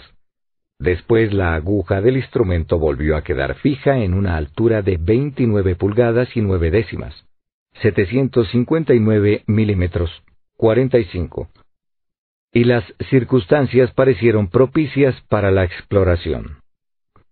Se fijó la partida para el día 16 de abril y se transportaron al Buenaventura que estaba anclado en el puerto del globo, las provisiones necesarias para un viaje de alguna duración. Cyrus Smith anunció a Ayrton la expedición proyectada, invitándole a tomar parte en ella, pero éste optó por establecerse en el Palacio de Granito durante la ausencia de sus compañeros. Maese Hub debía hacerle compañía, a lo cual no opuso ninguna objeción. El 16 de abril, por la mañana, todos los colonos, acompañados de Top, se embarcaron. El viento soplaba del sudoeste. Era una brisa, y el Buenaventura, al salir del puerto del globo, tuvo que voltejear para tomar el promontorio del reptil. De las noventa millas que medía el perímetro de la isla, unas veinte pertenecían a la costa del sur, desde el puerto hasta el promontorio. De aquí la necesidad de andar esas veinte millas navegando de bolina, porque el viento era absolutamente de proa. Hubo que emplear todo el día para llegar al promontorio porque la embarcación, al salir del puerto, no encontró más que dos horas de flujo, que le fue muy difícil de aguantar. La noche había llegado ya cuando el Buenaventura dobló el promontorio. Pencroff propuso entonces al ingeniero continuar el viaje lentamente con dos rizos de la vela, pero Cyrus Smith prefirió fondear a pocos cables de tierra, a fin de examinar aquella parte de la costa cuando llegara el día. Se acordó también que, puesto que se trataba de una exploración minuciosa del litoral, no se navegaría durante la noche y que al atardecer se anclaría cerca de tierra mientras el tiempo lo permitiese. Pasaron la noche al abrigo del promontorio y, habiendo caído el viento con la bruma, no se turbó el silencio de las horas nocturnas. Los pasajeros, a excepción del marino, durmieron quizá algo peor a bordo del Buenaventura, de lo que habrían dormido en sus habitaciones del Palacio de Granito, pero durmieron. Al día siguiente, 17 de abril, al amanecer, aparejó Pencroff, y con viento largo y amuras a babor, pudo abarloarse a la costa occidental. Los colonos conocían aquella costa frondosa, puesto que habían recorrido a pie sus orillas. Sin embargo, excitó de nuevo toda su admiración. Iban costeando lo más cerca posible de tierra, moderando la velocidad del buque para poder observarlo todo y teniendo solamente cuidado de no chocar con algunos troncos de árboles que flotaban acá y allá. Muchas veces echaron el ancla para que Gedeón Spilett tomara varias vistas fotográficas de aquel magnífico litoral. Hacia las doce de la mañana, el Buenaventura llegó a la desembocadura del río de la Cascada. Al otro lado, en su orilla derecha, volvían a presentarse los árboles. Pero más esparcidos, y tres millas más lejos no formaban más que pequeños grupos aislados, entre los contrafuertes occidentales del monte cuya árida ladera se prolongaba hasta el litoral. Qué contraste entre la parte sur y la parte norte de aquella costa. Tan frondosa y verde como era aquella, era esta áspera y escarpada. Parecía como una de esas costas de hierro, como las llaman en ciertos países, y su violenta contextura indicaba que se había producido una verdadera cristalización en el basalto, aún hirviente, de las épocas geológicas amontonamiento de aspecto terrible que hubiera espantado a los colonos si la casualidad les hubiese arrojado sobre aquella parte de la isla. Cuando estaban en la cima del monte Franklin, no habían podido reconocer el aspecto profundamente siniestro de aquella playa, porque la dominaban desde un punto demasiado alto. Pero visto desde el mar, se presentaba aquel litoral con un carácter tan extraño que no era fácil encontrar otro equivalente en ningún rincón del mundo. El Buenaventura pasó por delante de aquella costa, siguiéndola por espacio de media milla, y entonces fue fácil ver que se componía de bloques de todas dimensiones, desde veinte hasta trescientos pies de altura y de todas formas, cilíndricos como torres, prismáticos como campanarios, piramidales como obeliscos, cónicos como chimeneas de fábrica. Un ventisquero de los mares glaciales no se hubiera dibujado más caprichosamente en su sublime horror. Aquí puentes arrojados de una roca a otra, allá arcos dispuestos como los de una nave, cuya profundidad no podía descubrir la mirada. En un sitio grandes excavaciones, cuyas bóvedas presentaban un aspecto monumental. En otros un verdadero caos de puntas, de pirámides pequeñas y de flechas, como jamás ha contado ninguna catedral gótica. Todos los más variados caprichos de la naturaleza contribuían a formar aquel litoral grandioso que se prolongaba en una longitud de ocho a nueve millas. Ciro Smith y sus compañeros le miraban con una sorpresa que rayaba en la estupefacción. Pero si permanecían mudos, Top, por su parte, no dejaba de lanzar ladridos, que eran repetidos por los mil ecos de la muralla basáltica. El ingeniero llegó a observar que aquellos ladridos tenían algo raro, como los que el perro lanzaba a la boca del pozo del palacio de granito. Atraquemos, dijo. Y el Buenaventura vino a pasar rasando todo lo posible las rocas del litoral. ¿Existiría alguna gruta que conviniese explorar? Ciro Smith no vio nada, ni una caverna, ni una anfractuosidad, que pudieran servir de retiro a un ser cualquiera, porque el pie de las rocas se bañaba en la resaca misma de las aguas. Pronto cesaron los ladridos de Top y la embarcación recobró la distancia que antes llevaba a pocos cables del litoral. En la parte noroeste de la isla la playa volvió a presentarse llana y arenosa. Algunos árboles raros se levantaban sobre una tierra baja y pantanosa, que los colonos habían entrevisto ya. Y contrastando violentamente con la otra costa tan desierta, la vida se manifestaba allí por la presencia de miriadas de aves acuáticas. Por la tarde, el Buenaventura fondeó en una pequeña ensenada del litoral, al norte de la isla y bastante cerca de tierra, pues las aguas eran muy profundas en aquel sitio. La noche transcurrió pacíficamente, porque la brisa se extinguió, por decirlo así, con los últimos resplandores del día, y no volvió a presentarse hasta las primeras claridades del alba.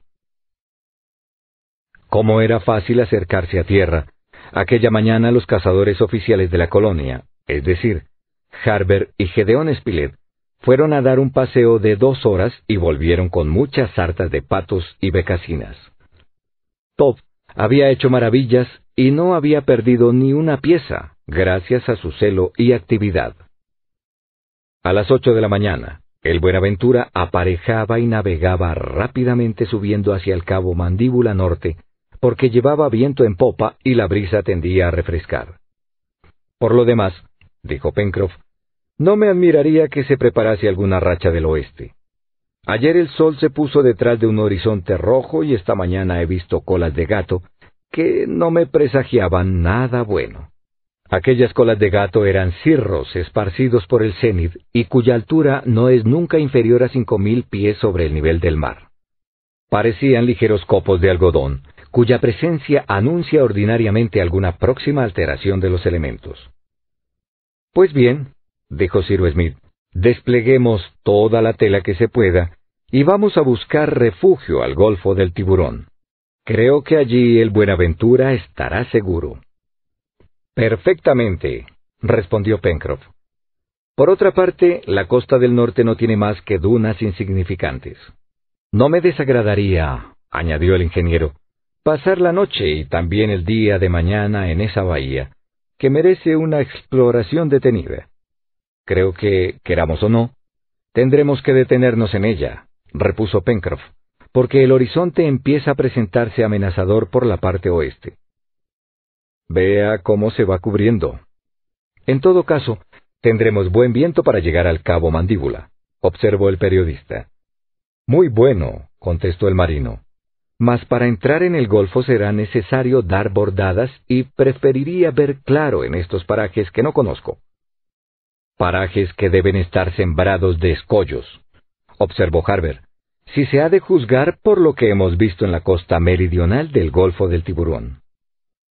Pencroff dijo entonces, Sir Smith, haga lo que mejor le parezca.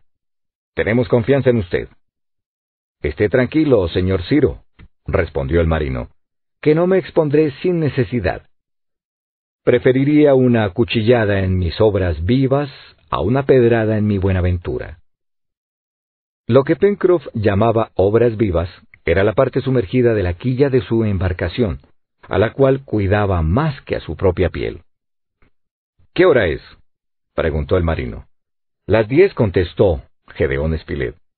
¿Y a qué distancia estamos del cabo, señor Ciro? A unas quince millas, repuso el ingeniero. Es cuestión de dos horas y media, dijo entonces el marino, y estaremos en el cabo entre las doce y la una. Por desgracia, la marea estará bajando en ese momento y habrá en el Golfo una corriente de reflujo. Temo que sea difícil entrar teniendo viento y mar contra nosotros. Tanto más, observó Harber, que hoy es luna llena y estas mareas de abril son peligrosas. ¿Y bien, Pencroff? preguntó Sir Smith. ¿No puede usted fondear en la punta del cabo? Fondear cerca de tierra con mal tiempo en perspectiva, exclamó el marino. ¿Lo ha pensado bien, señor Ciro? Eso sería querer estrellarse voluntariamente contra la costa. Entonces, ¿qué va a hacer? Tratar de mantenernos al largo hasta la hora del flujo, es decir, hasta las siete de la tarde, y si entonces hay posibilidad, intentaré entrar en el Golfo. Si no, continuaremos corriendo bordadas durante toda la noche y entraremos mañana al salir el sol. Ya le he dicho, Pencroff, que confiamos en su experiencia, respondió Ciro Smith. Ah, dijo Pencroff.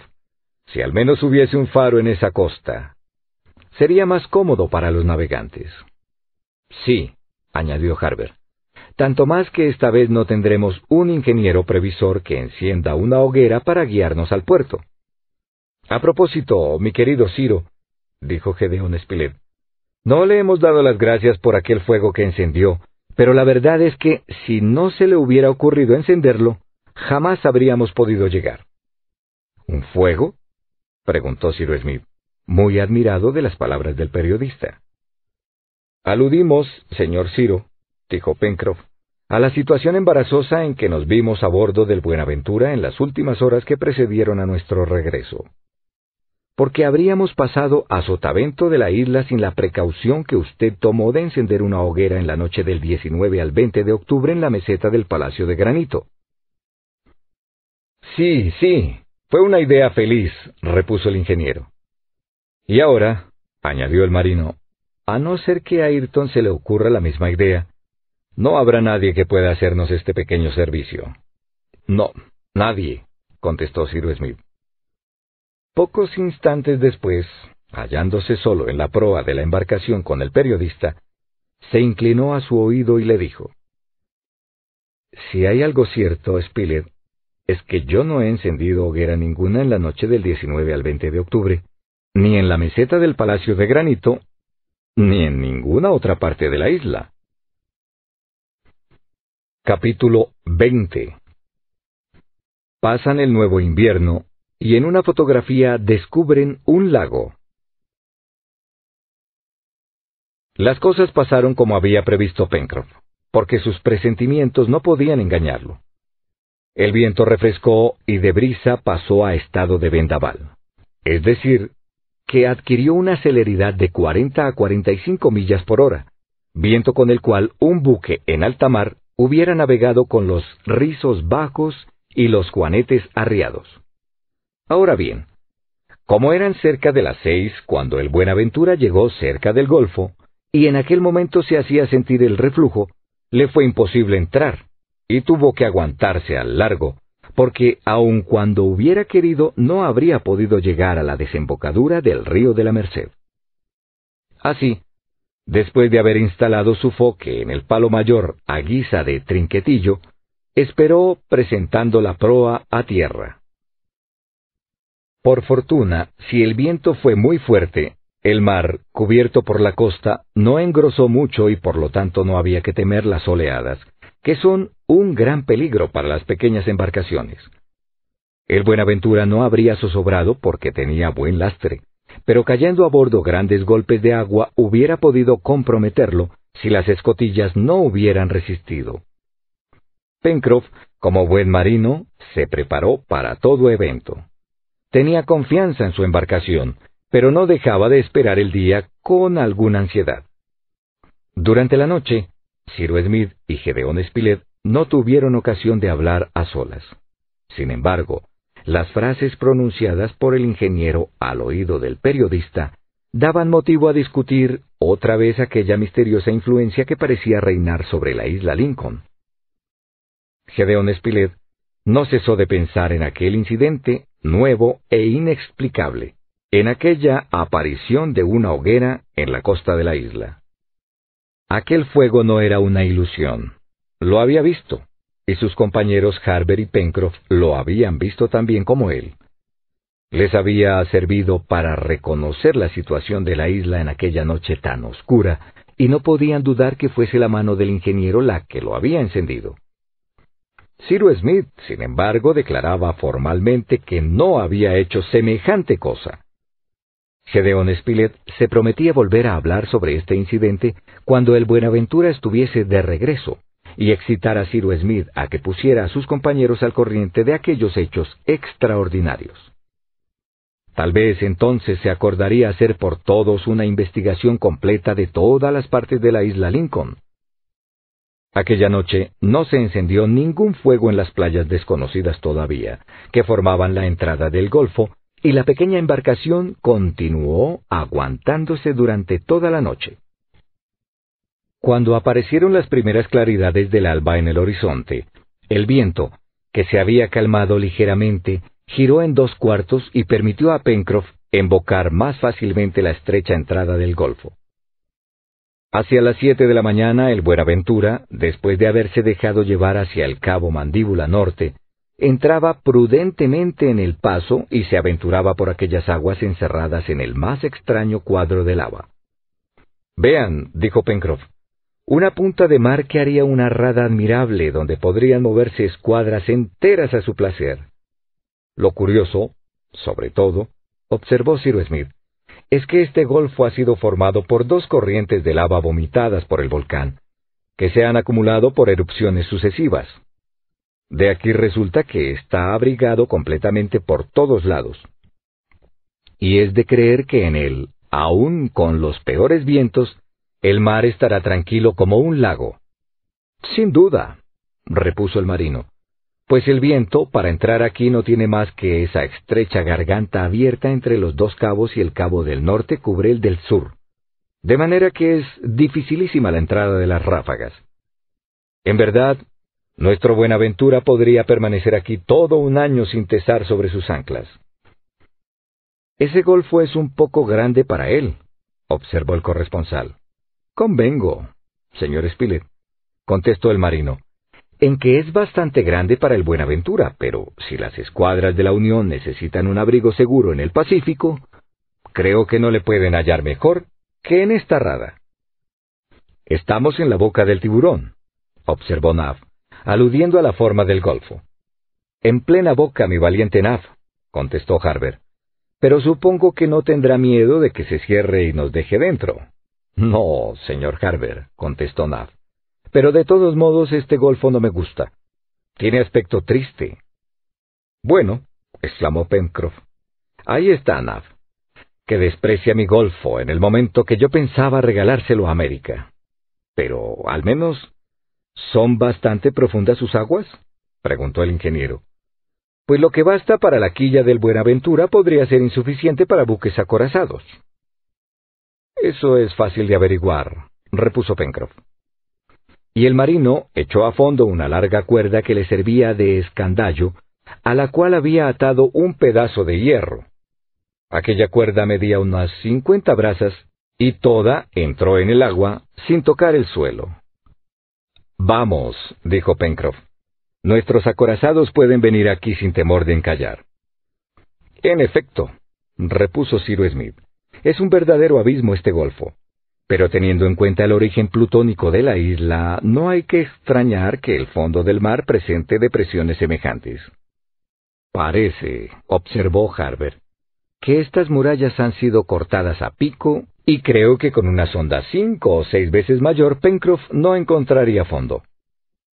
Todo está muy bien, dijo el corresponsal, pero debo hacer observar a Pencroff que falta una cosa importante para su rada. ¿Cuál, señor Spilett? Una cortadura. Un sitio cualquiera que dé acceso al interior de la isla.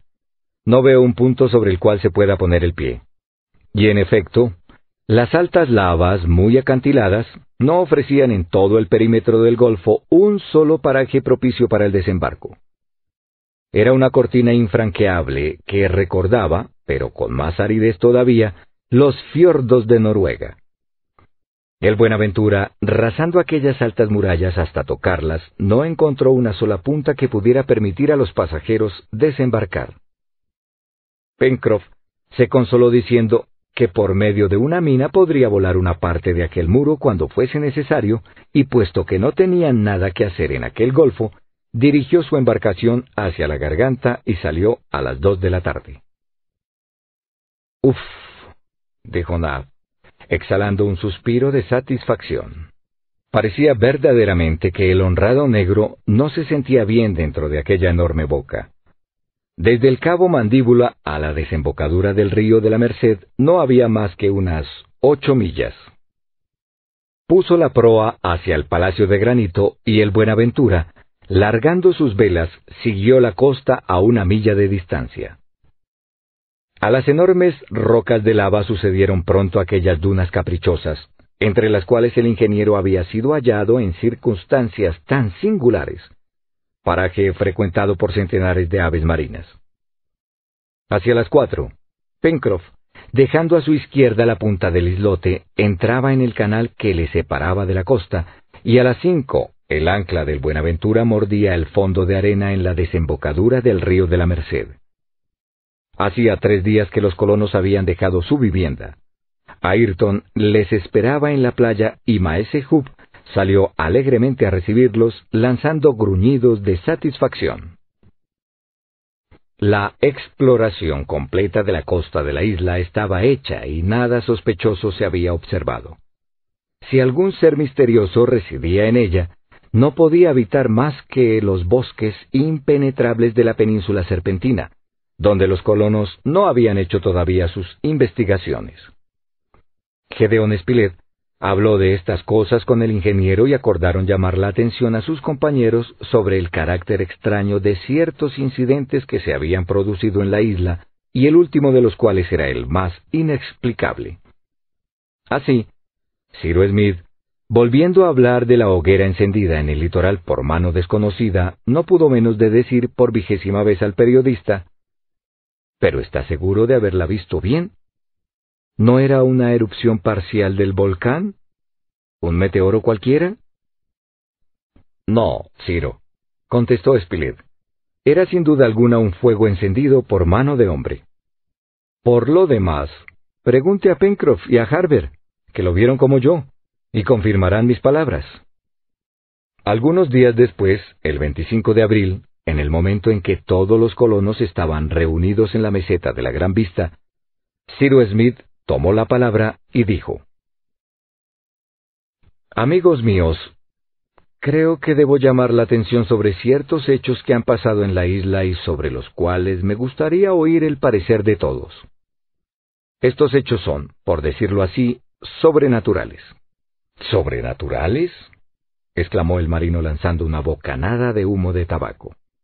¿Sería posible que nuestra isla fuese sobrenatural? No, Pencroff, pero indudablemente es misteriosa, continuó el ingeniero. A no ser que usted pueda explicarnos lo que Spilett y yo no hemos podido comprender hasta ahora. Hable, señor Ciro, añadió el marino. Pues bien, ha comprendido, dijo el ingeniero, cómo, cayendo al mar, fui encontrado a un cuarto de milla en el interior de la isla sin que me enterase de nada? A no ser que estando desmayado, dijo Pencroff. Eso no es admisible, interrumpió el ingeniero. Pero pasemos adelante. ¿Ha comprendido cómo Top pudo descubrir dónde estaban ustedes a cinco millas de la gruta donde yo me hallaba tendido? El instinto del perro, dijo Harbert. Instinto singular, exclamó el periodista, puesto que, a pesar de la lluvia y el viento desencadenados durante toda la noche, Top llegó a las chimeneas seco y sin una mancha de lodo. Pasemos más adelante, dijo el ingeniero. ¿Ha comprendido cómo nuestro perro fue tan singularmente lanzado fuera de las aguas del lago después de su lucha con el dugongo? No. Confieso que no lo he comprendido, contestó Pencroff, ni tampoco la herida que el dugongo tenía en el costado y que parecía hecha con un instrumento cortante. Continuemos, repuso el ingeniero. ¿Han comprendido, amigos míos, cómo se encontraba aquel grano de plomo en el cuerpo del lechón de Zaino? ¿Cómo se halló el cajón tan bien encallado, sin que hubiera señales de naufragio?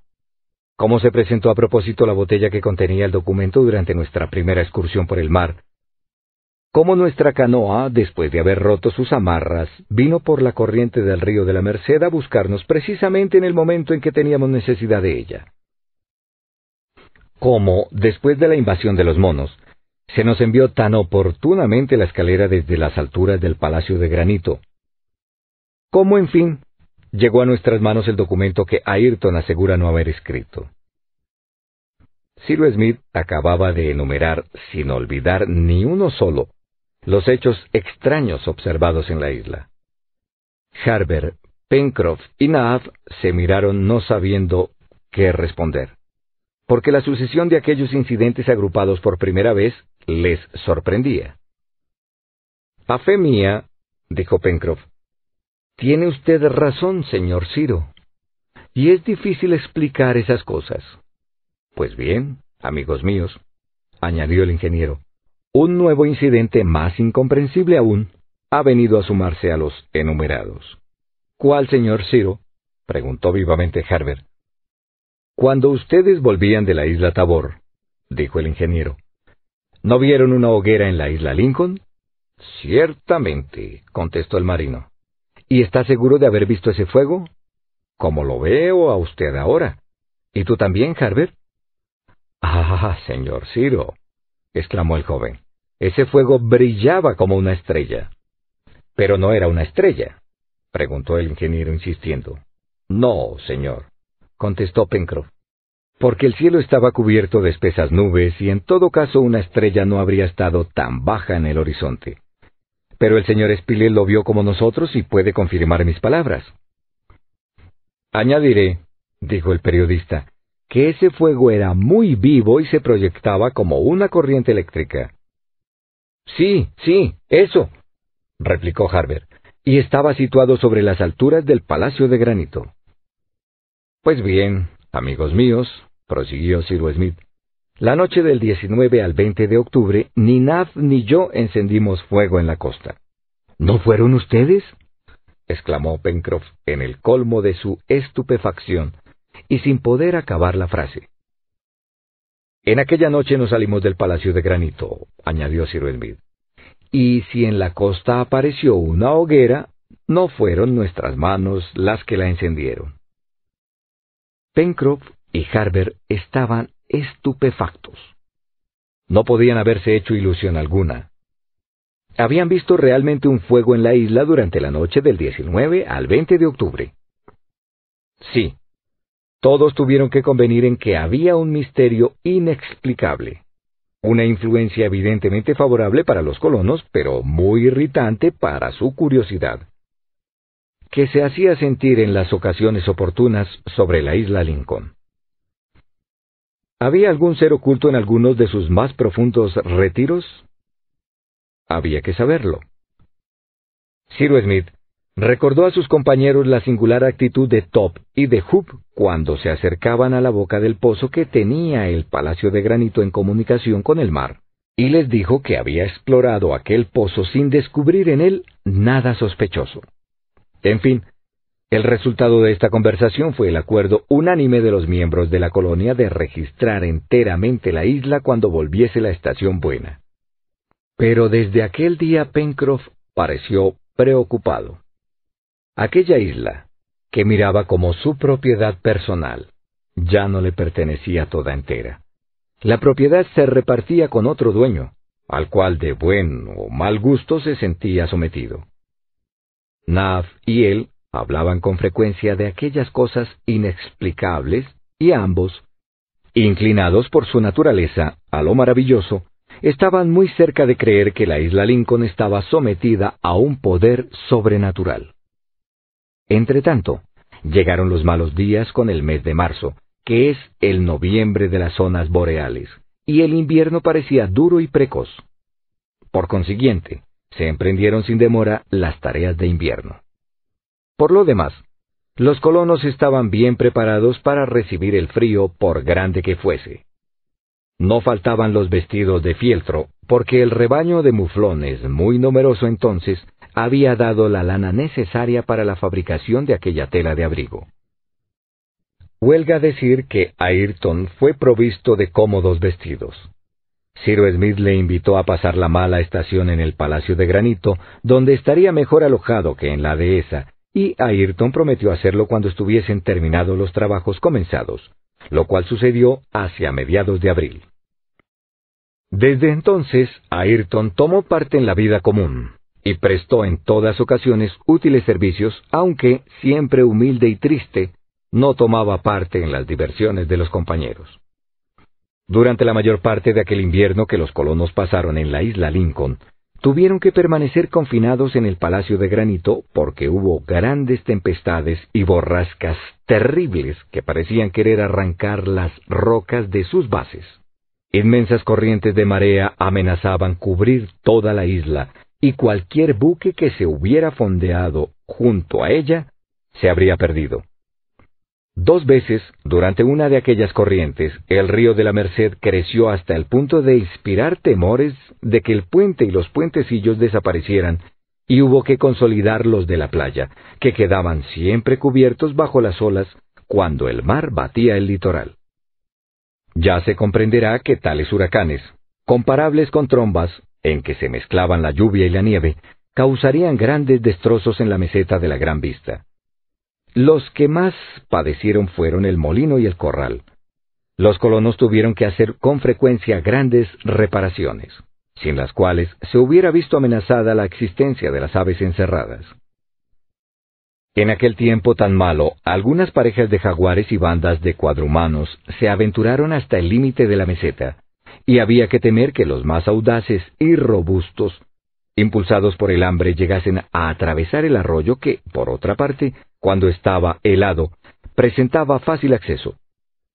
Si así hubiera sucedido, las plantaciones y los animales domésticos hubieran sido destruidos infaliblemente, al no tener una vigilancia continua. Y con frecuencia hubo que hacer algunos disparos de armas de fuego para mantener a respetuosa distancia los peligrosos visitantes. Por consiguiente, no faltó que hacer en el invierno, porque sin contar los cuidados del exterior, había siempre mil obras de mueblaje y decorado que acabar en el Palacio de Granito. Se hizo también en algunos días muy buena casa durante los grandes fríos en los vastos pantanos de los Tadornes. Gedeón Spilett y Harber, ayudados de Hub y Top, no perdían un tiro en medio de aquellas miriadas de patos, becasinas, cercetas y aves frías. El acceso a aquel territorio tan abundante en caza era fácil. Por otra parte, ya por el camino del puerto del Globo, ya por el puente de la Merced, ya doblando las rocas de la punta del Pecio, y los cazadores no se alejaban nunca del palacio de granito más de dos o tres millas. Así pasaron los cuatro meses de invierno, que fueron los verdaderamente rigurosos, es decir, junio, julio, agosto y septiembre. El palacio de granito no padeció mucho por efecto de las inclemencias del tiempo, y lo mismo sucedió en la dehesa que, menos expuesta que la meseta y cubierta en gran parte por el monte Franklin, no recibía directamente los golpes de viento, porque venían ya cortados por los bosques y las altas rocas del litoral. Así, los deterioros de la dehesa fueron poco importantes, y la mano activa y hábil de Ayrton bastó para repararlos rápidamente. Cuando en la segunda quincena de octubre volvió a pasar algunos días en la dehesa, durante aquel invierno, no hubo ningún nuevo incidente inexplicable. Nada extraño sucedió, aunque Pencroff y Nav estaban en acecho de los sucesos más insignificantes que hubieran podido referirse a una causa misteriosa. Top y Hoop ya no andaban alrededor de la boca del pozo, ni daban señal ninguna de inquietud. Parecía que la serie de incidentes sobrenaturales se había interrumpido, aunque con frecuencia se hablaba de ellos en las veladas del Palacio de Granito, y se ratificaba el acuerdo de registrar la isla hasta en sus rincones más ocultos y más difíciles de explorar. Pero un acontecimiento grave, cuyas consecuencias podían ser funestas, vino por el momento a distraer de sus proyectos a Cyrus Smith y a sus compañeros. Corría el mes de octubre y la buena estación volvía a grandes pasos. La naturaleza se renovaba bajo los rayos del sol y en medio del follaje persistente de las coníferas que formaban la linde del bosque aparecía ya el nuevo follaje de los almaces, de las bancias y de los deodares. El lector recordará que Gedeón Spilett y Harber habían tomado en diferentes ocasiones vistas fotográficas de la isla Lincoln. El 17 de aquel mes de octubre, a las tres de la tarde, Harber, seducido por la pureza del cielo, tuvo el pensamiento de reproducir toda la bahía de la Unión que daba frente a la meseta de la Gran Vista, desde el cabo de Mandíbula hasta el cabo de la Garra. El horizonte estaba despejado y el mar, ondulado al impulso de una blanda brisa, presentaba la inmovilidad de las aguas de un lago, picadas acá y allá por chispas luminosas. El objetivo fue colocado en una de las ventanas del salón del Palacio de Granito. Por lo tanto, dominaba la playa y la bahía. Harber procedió como tenía costumbre y, una vez obtenido el cliché, fue a fijarlo mediante las sustancias que estaban depositadas en un aposento oscuro de la vivienda. Volviendo luego a la luz y examinando bien el cliché, observó en él un punto casi imperceptible que manchaba el horizonte del mar. Trató de hacerle desaparecer por medio del lavado, pero por más que hizo no pudo conseguirlo. Es un defecto del vidrio, pensó. Y entonces tuvo la curiosidad de examinar aquel defecto con una lente de bastante aumento, que destornilló de uno de los gemelos. Apenas la hubo examinado, dio un grito y estuvo a punto de dejar escapar de las manos el cliché. Inmediatamente corrió a la habitación donde estaba Ciro Smith, le alargó el cliché y la lente, enseñándole la manchita. El ingeniero examinó aquel punto y después, tomando su catalejo, se precipitó hacia la ventana. El anteojo, después de haber recorrido lentamente el horizonte, se detuvo sobre el punto sospechoso, y Ciro Smith, bajándose, pronunció esta sola palabra. ¡Buque! En efecto, había un buque a la vista de la isla Lincoln. Tercera parte. El secreto de la isla. Capítulo primero. Buque a la vista. Dos años y medio hacía que los náufragos del globo habían sido arrojados a la isla Lincoln, y hasta entonces no habían podido establecer ninguna comunicación entre ellos y sus semejantes.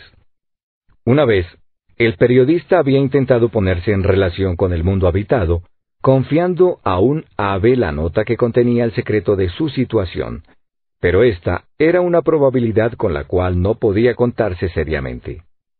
Solo Ayrton, y en las circunstancias que ya se saben, se había reunido con los miembros de la pequeña colonia. Ahora bien, aquel mismo día 17 de octubre, otros hombres se presentaban a la vista de la isla, en aquel mar, hasta entonces desierto. No cabía duda alguna. Allí había un buque, pero ¿pasaría de largo o se detendría? Antes de pocas horas los colonos iban a saber, seguramente, a qué atenerse. Ciro Smith y Harber llamaron inmediatamente a Gedeón Spilett, Pencroff y Nav al salón del Palacio de Granito y les pusieron al corriente de lo que pasaba. Pencroff Tomando el anteojo, recorrió rápidamente el horizonte y se detuvo en el punto indicado, es decir, en el que había formado la mancha imperceptible en el cliché fotográfico. ¡Mil diablos! ¡Es un buque! Dijo con un acento que no denotaba un entusiasmo extraordinario. ¿Viene hacia aquí? preguntó Gedeón Spilett.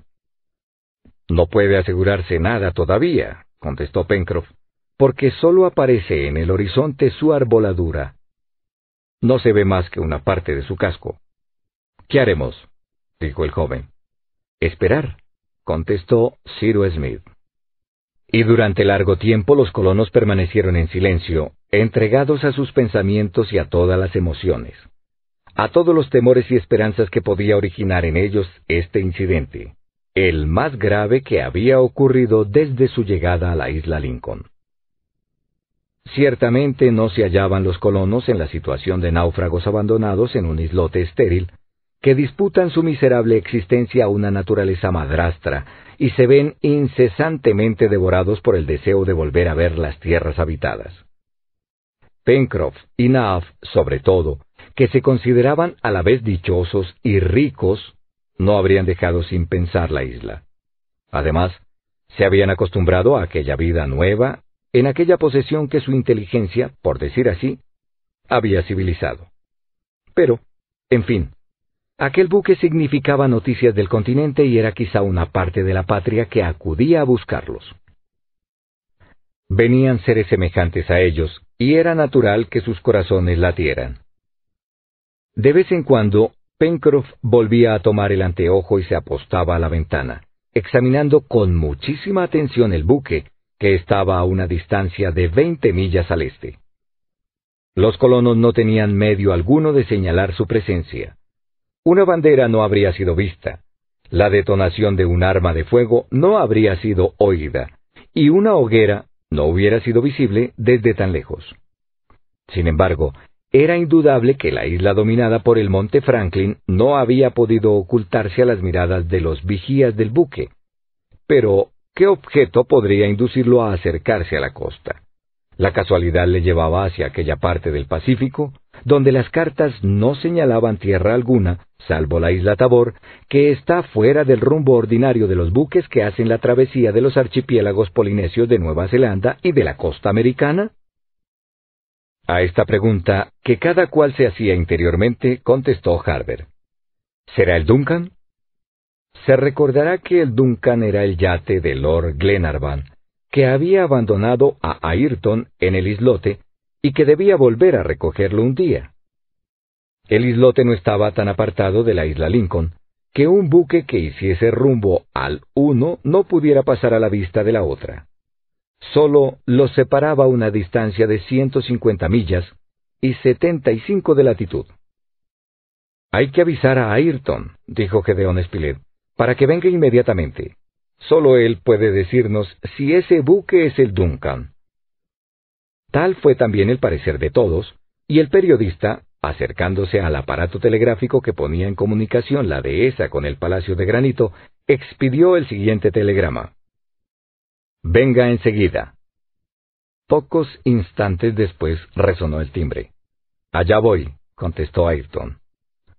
Los colonos, entre tanto, continuaron observando la nave.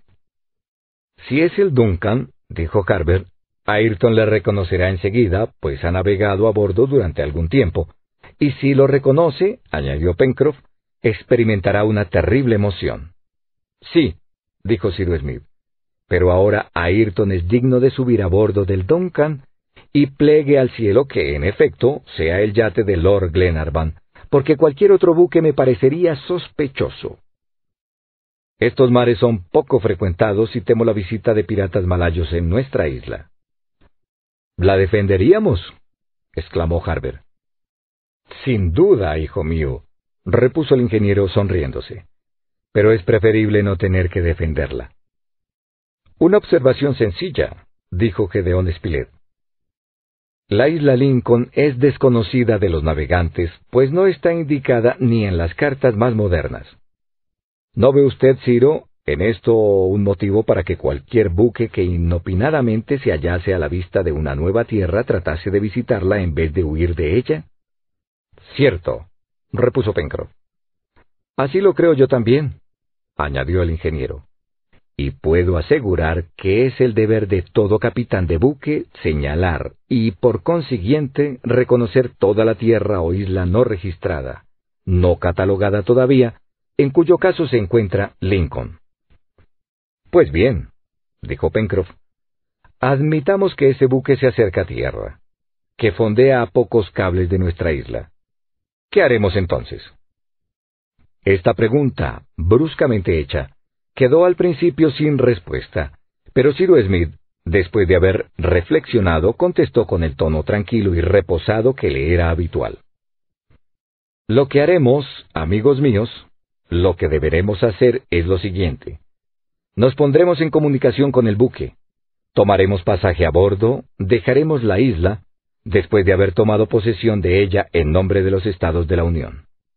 Después volveremos aquí con todos los que quieran seguirnos para colonizarla definitivamente y dotar a la República Norteamericana de una estación tan útil en esta parte del Océano Pacífico. ¡Hurra! exclamó Pencroff. No es un pequeño regalo el que vamos a hacer a nuestro país. La colonización está casi concluida. Se han dado nombres a todas las partes de la isla. Hay un puerto natural, una aguada, caminos, una línea telegráfica, un arsenal, una herrería. No falta más que inscribir la isla Lincoln en los mapas. Mil diablos, exclamó el marino. Prefiero quedarme solo para guardarla.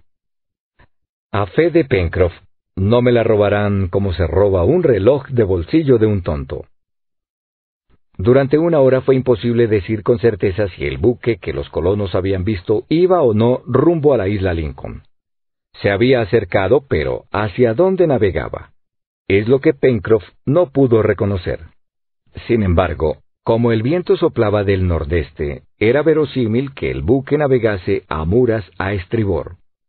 Por lo demás, la brisa era buena para impulsarlo a tierra, y en aquella mar tranquila no podía temer acercarse a la isla, aunque no hubiera carta que determinase las diversas profundidades del agua. Hacia las cuatro, una hora después de haberlo llamado, llegó Ayrton al Palacio de Granito y entró en el salón. Estoy a sus órdenes, señores. Ciro Smith le tendió la mano como tenía costumbre y, llevándole a la ventana, le dijo, Ayrton, le hemos llamado por motivo muy grave. Tenemos un buque a la vista de la isla. Ayrton se puso muy pálido y su vista se turbó un instante. Se asomó a la ventana, recorrió el horizonte, pero no vio nada. Tome el catalejo, dijo Sir Smith, y mire bien, Ayrton, porque sería posible que este buque fuese el Duncan que viene a estos parajes para repatriarlo. ¿El Duncan? murmuró Ayrton. Ya. Esta última palabra se escapó como involuntariamente de los labios de Ayrton, que inclinó la cabeza y se cubrió el rostro con las manos. Doce años de abandono en un islote desierto. ¿No le parecían quizá expiación suficiente? El culpado arrepentido no se sentía aún perdonado a sus propios ojos o a los de los demás. No, dijo. No, no puede ser el Duncan. Mire usted, Ayrton, insistió el ingeniero, porque importa que sepamos de antemano a qué atenernos. Ayrton tomó el catalejo y lo asestó en la dirección indicada. Durante algunos minutos observó el horizonte sin pestañear ni pronunciar una palabra. Después dijo, En efecto, es un buque, pero no creo que sea el Duncan. ¿Por qué no lo cree? Preguntó Gedeón Spilett. Porque el Duncan es un yate de vapor y no veo ninguna señal de humo. Tal vez navegaba solo a vela, observó Pencroff. El viento es bueno para el rumbo que parece llevar y debe tener interés en ahorrar su carbón hallándose tan lejos de tierra. Es posible que tenga usted razón, señor Pencroff, respondió Ayrton, y que el buque haya apagado sus fuegos. Dejémoslo llegar a la costa y pronto lo sabremos. Dicho esto, Ayrton fue a sentarse a un extremo del salón y allí permaneció silencioso. Los colonos discutieron todavía acerca de la nave desconocida, pero sin que Ayrton tomase parte. Todos se hallaban entonces en una disposición de ánimo que no les permitía continuar sus tareas. Gedeón Spilett y Pencroff estaban singularmente nerviosos, yendo y viniendo sin poder estar quietos un minuto. Harbert experimentaba gran curiosidad. Solo Nav conservaba su calma habitual. ¿No era acaso su país donde estuviese su amo? En cuanto al ingeniero, estaba absorto en sus pensamientos y, en el fondo, más temía que deseaba la llegada del buque. Este, entre tanto, se había acercado un poco a la isla y con el auxilio del anteojo había sido posible distinguir que era un bergantín y no uno de esos praos malayos de que se sirven habitualmente los piratas del Pacífico. Era de suponer que no se justificarían los temores del ingeniero y que la presencia de aquel buque en las aguas de la isla Lincoln no constituía un peligro. Pencroff, después de un examen minucioso, creyó poder afirmar que aquel buque estaba aparejado como un brick que corría oblicuamente la costa con amuras a estribor, con sus velas bajas, gavias y juanetes. Ayrton confirmó esta observación. Pero si continuaba en este rumbo, debía desaparecer pronto detrás de la punta del Cabo de la Garra, porque marchaba hacia el sudoeste y, para observarlo, sería entonces necesario situarse en las alturas de la bahía de Washington, cerca del puerto del Globo, circunstancia desagradable porque eran ya las cinco de la tarde y el crepúsculo no tardaría en dificultar toda observación. ¿Qué haremos si llega la noche? preguntó Gedeón Spilett. ¿Encenderemos fuego para señalar nuestra presencia en la costa? La cuestión era grave y, a pesar de los presentimientos del ingeniero, se resolvió afirmativamente. Durante la noche el buque podía desaparecer, alejarse para siempre. Si desaparecía, ¿cuándo volvería otro a las aguas de la isla Lincoln? ¿Quién podía prever lo que reservaba el futuro a los colonos? Sí, dijo el periodista. Debemos dar a entender a ese buque, cualquiera que sea, que la isla está habitada. Perder esta ocasión que se nos ofrece sería causarnos un remordimiento para lo futuro. Se decidió, por lo tanto, que Naf y el marino irían al puerto del globo y, cuando llegara la noche, encenderían una hoguera, cuyo resplandor debería atraer necesariamente la atención de la tripulación del Brick. Pero, En el momento en que Nav y el marino se preparaban a salir del palacio de granito, el buque cambió su marcha y se dirigió francamente hacia la isla, haciendo rumbo a la bahía de la Unión. Aquel brick andaba mucho, pues se acercó rápidamente. Nav y Pencroff suspendieron entonces su marcha y el ingeniero puso el anteojo en manos de Ayrton para que pudiese observar si aquel buque era o no el Duncan. El yate escocés estaba también aparejado como brick. La cuestión era saber si se levantaba una chimenea entre los dos palos del buque que ya no estaba más que a una distancia de diez millas. El horizonte era todavía muy claro. La comprobación estuvo pronto hecha y Ayrton bajó el anteojo. No es el Duncan. No podía serlo. Pencroff observó de nuevo el buque con el anteojo y reconoció que era un brick de 300 a 400 toneladas, muy bonito, audazmente arbolado, admirablemente formado para la marcha y que debía ser un rápido nadador. Pero, ¿a qué nación pertenecía? Era difícil decirlo. Y sin embargo, añadió el marino, un pabellón flota en su cangreja, pero no puedo distinguir sus colores. Antes de media hora sabremos a qué atenernos sobre este punto, dijo el periodista. Además, es evidente que el capitán de ese buque tiene intención de fondear junto a tierra y, por consiguiente, si no es hoy, mañana sabremos más. No importa, dijo Pencroff. Vale más saber con quién tiene uno que vérselas, y no me disgustaría reconocer los colores de su pabellón. Hablando así no dejaba de mirar con el anteojo. El día comenzaba a declinar y con el día caía también el viento del mar. El pabellón del brick, menos tendido, se enredaba entre las drisas y era cada vez más difícil observarlo. No es un pabellón norteamericano, decía de cuando en cuando Pencroff, ni inglés, porque el color rojo se vería fácilmente. Ni trae los colores franceses ni alemanes, ni el pabellón blanco de Rusia, ni el amarillo de España. Parece un color uniforme. Veamos.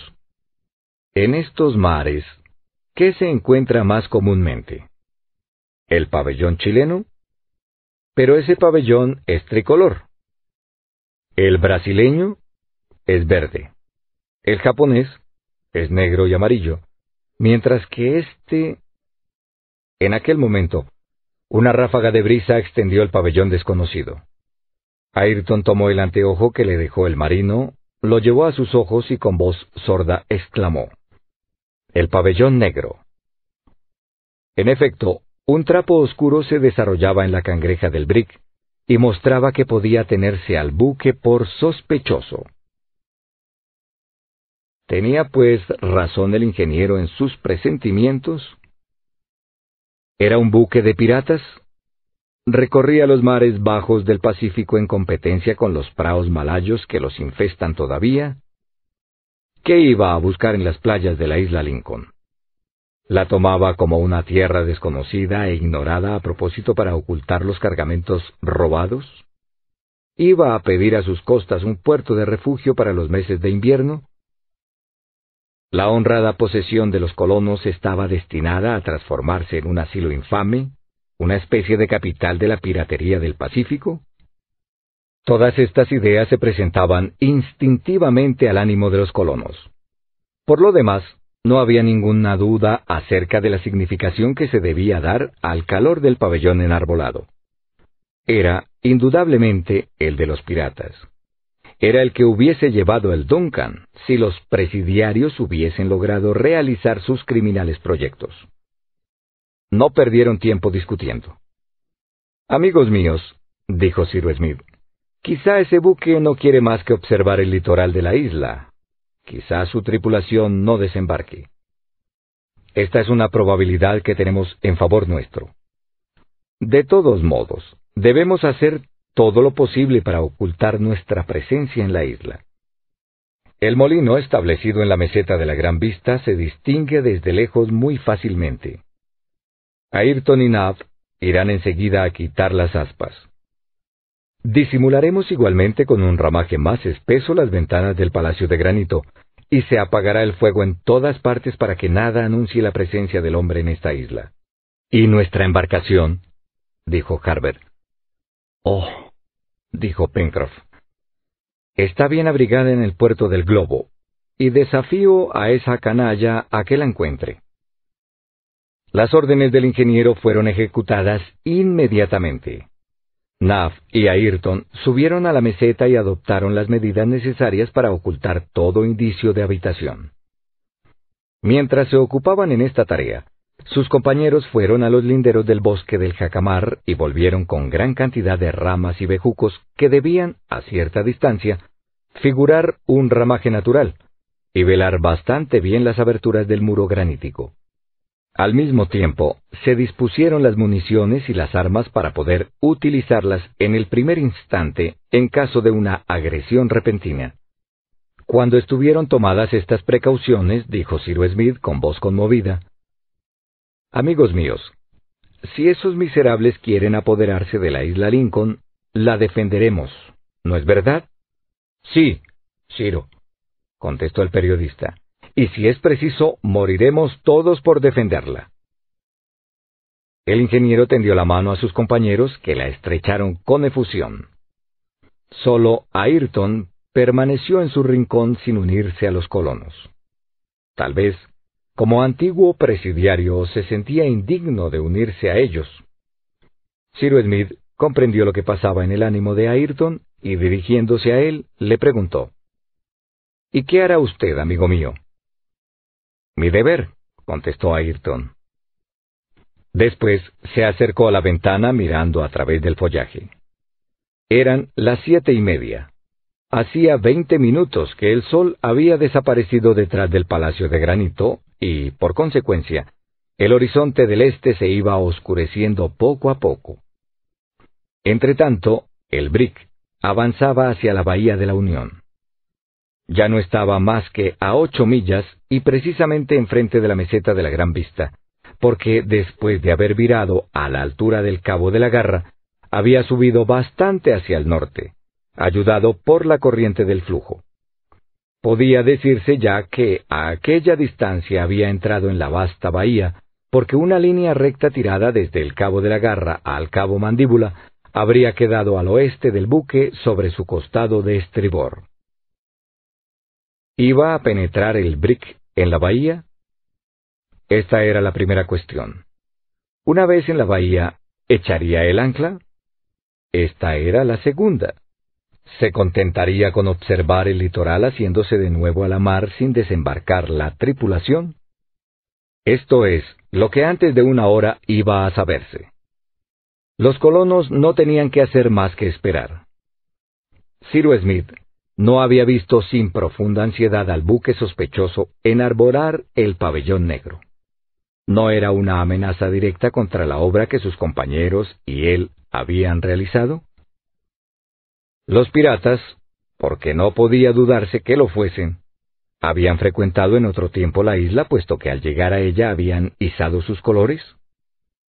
Habían desembarcado anteriormente en ella, lo cual explicaría ciertas particularidades inexplicables hasta entonces.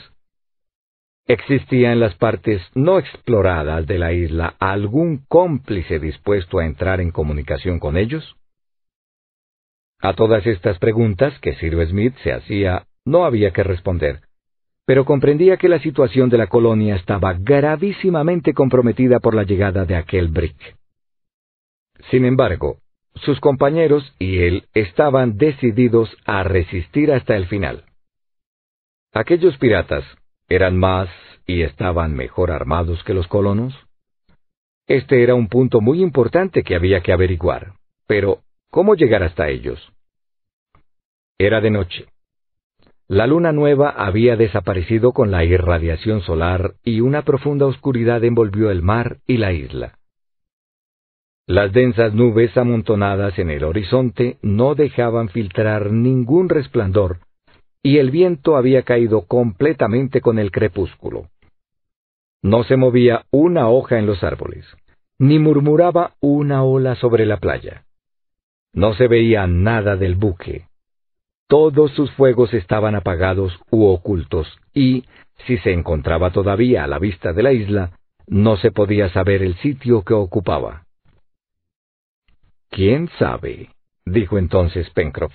Quizá este condenado buque se echa a la mar durante la noche y no lo encontraremos cuando amanezca. Como respuesta a la observación del marino, se vio a lo lejos un vivo resplandor y poco tiempo después resonó un cañonazo. El buque estaba allí y tenía piezas de artillería a bordo. Seis segundos habían transcurrido entre el fogonazo y el ruido. El brick estaba como a milla y media de la costa. Al mismo tiempo se oyó un ruido de cadenas que rechinaban a través de los escobones. El buque acababa de fondear a la vista del Palacio de Granito.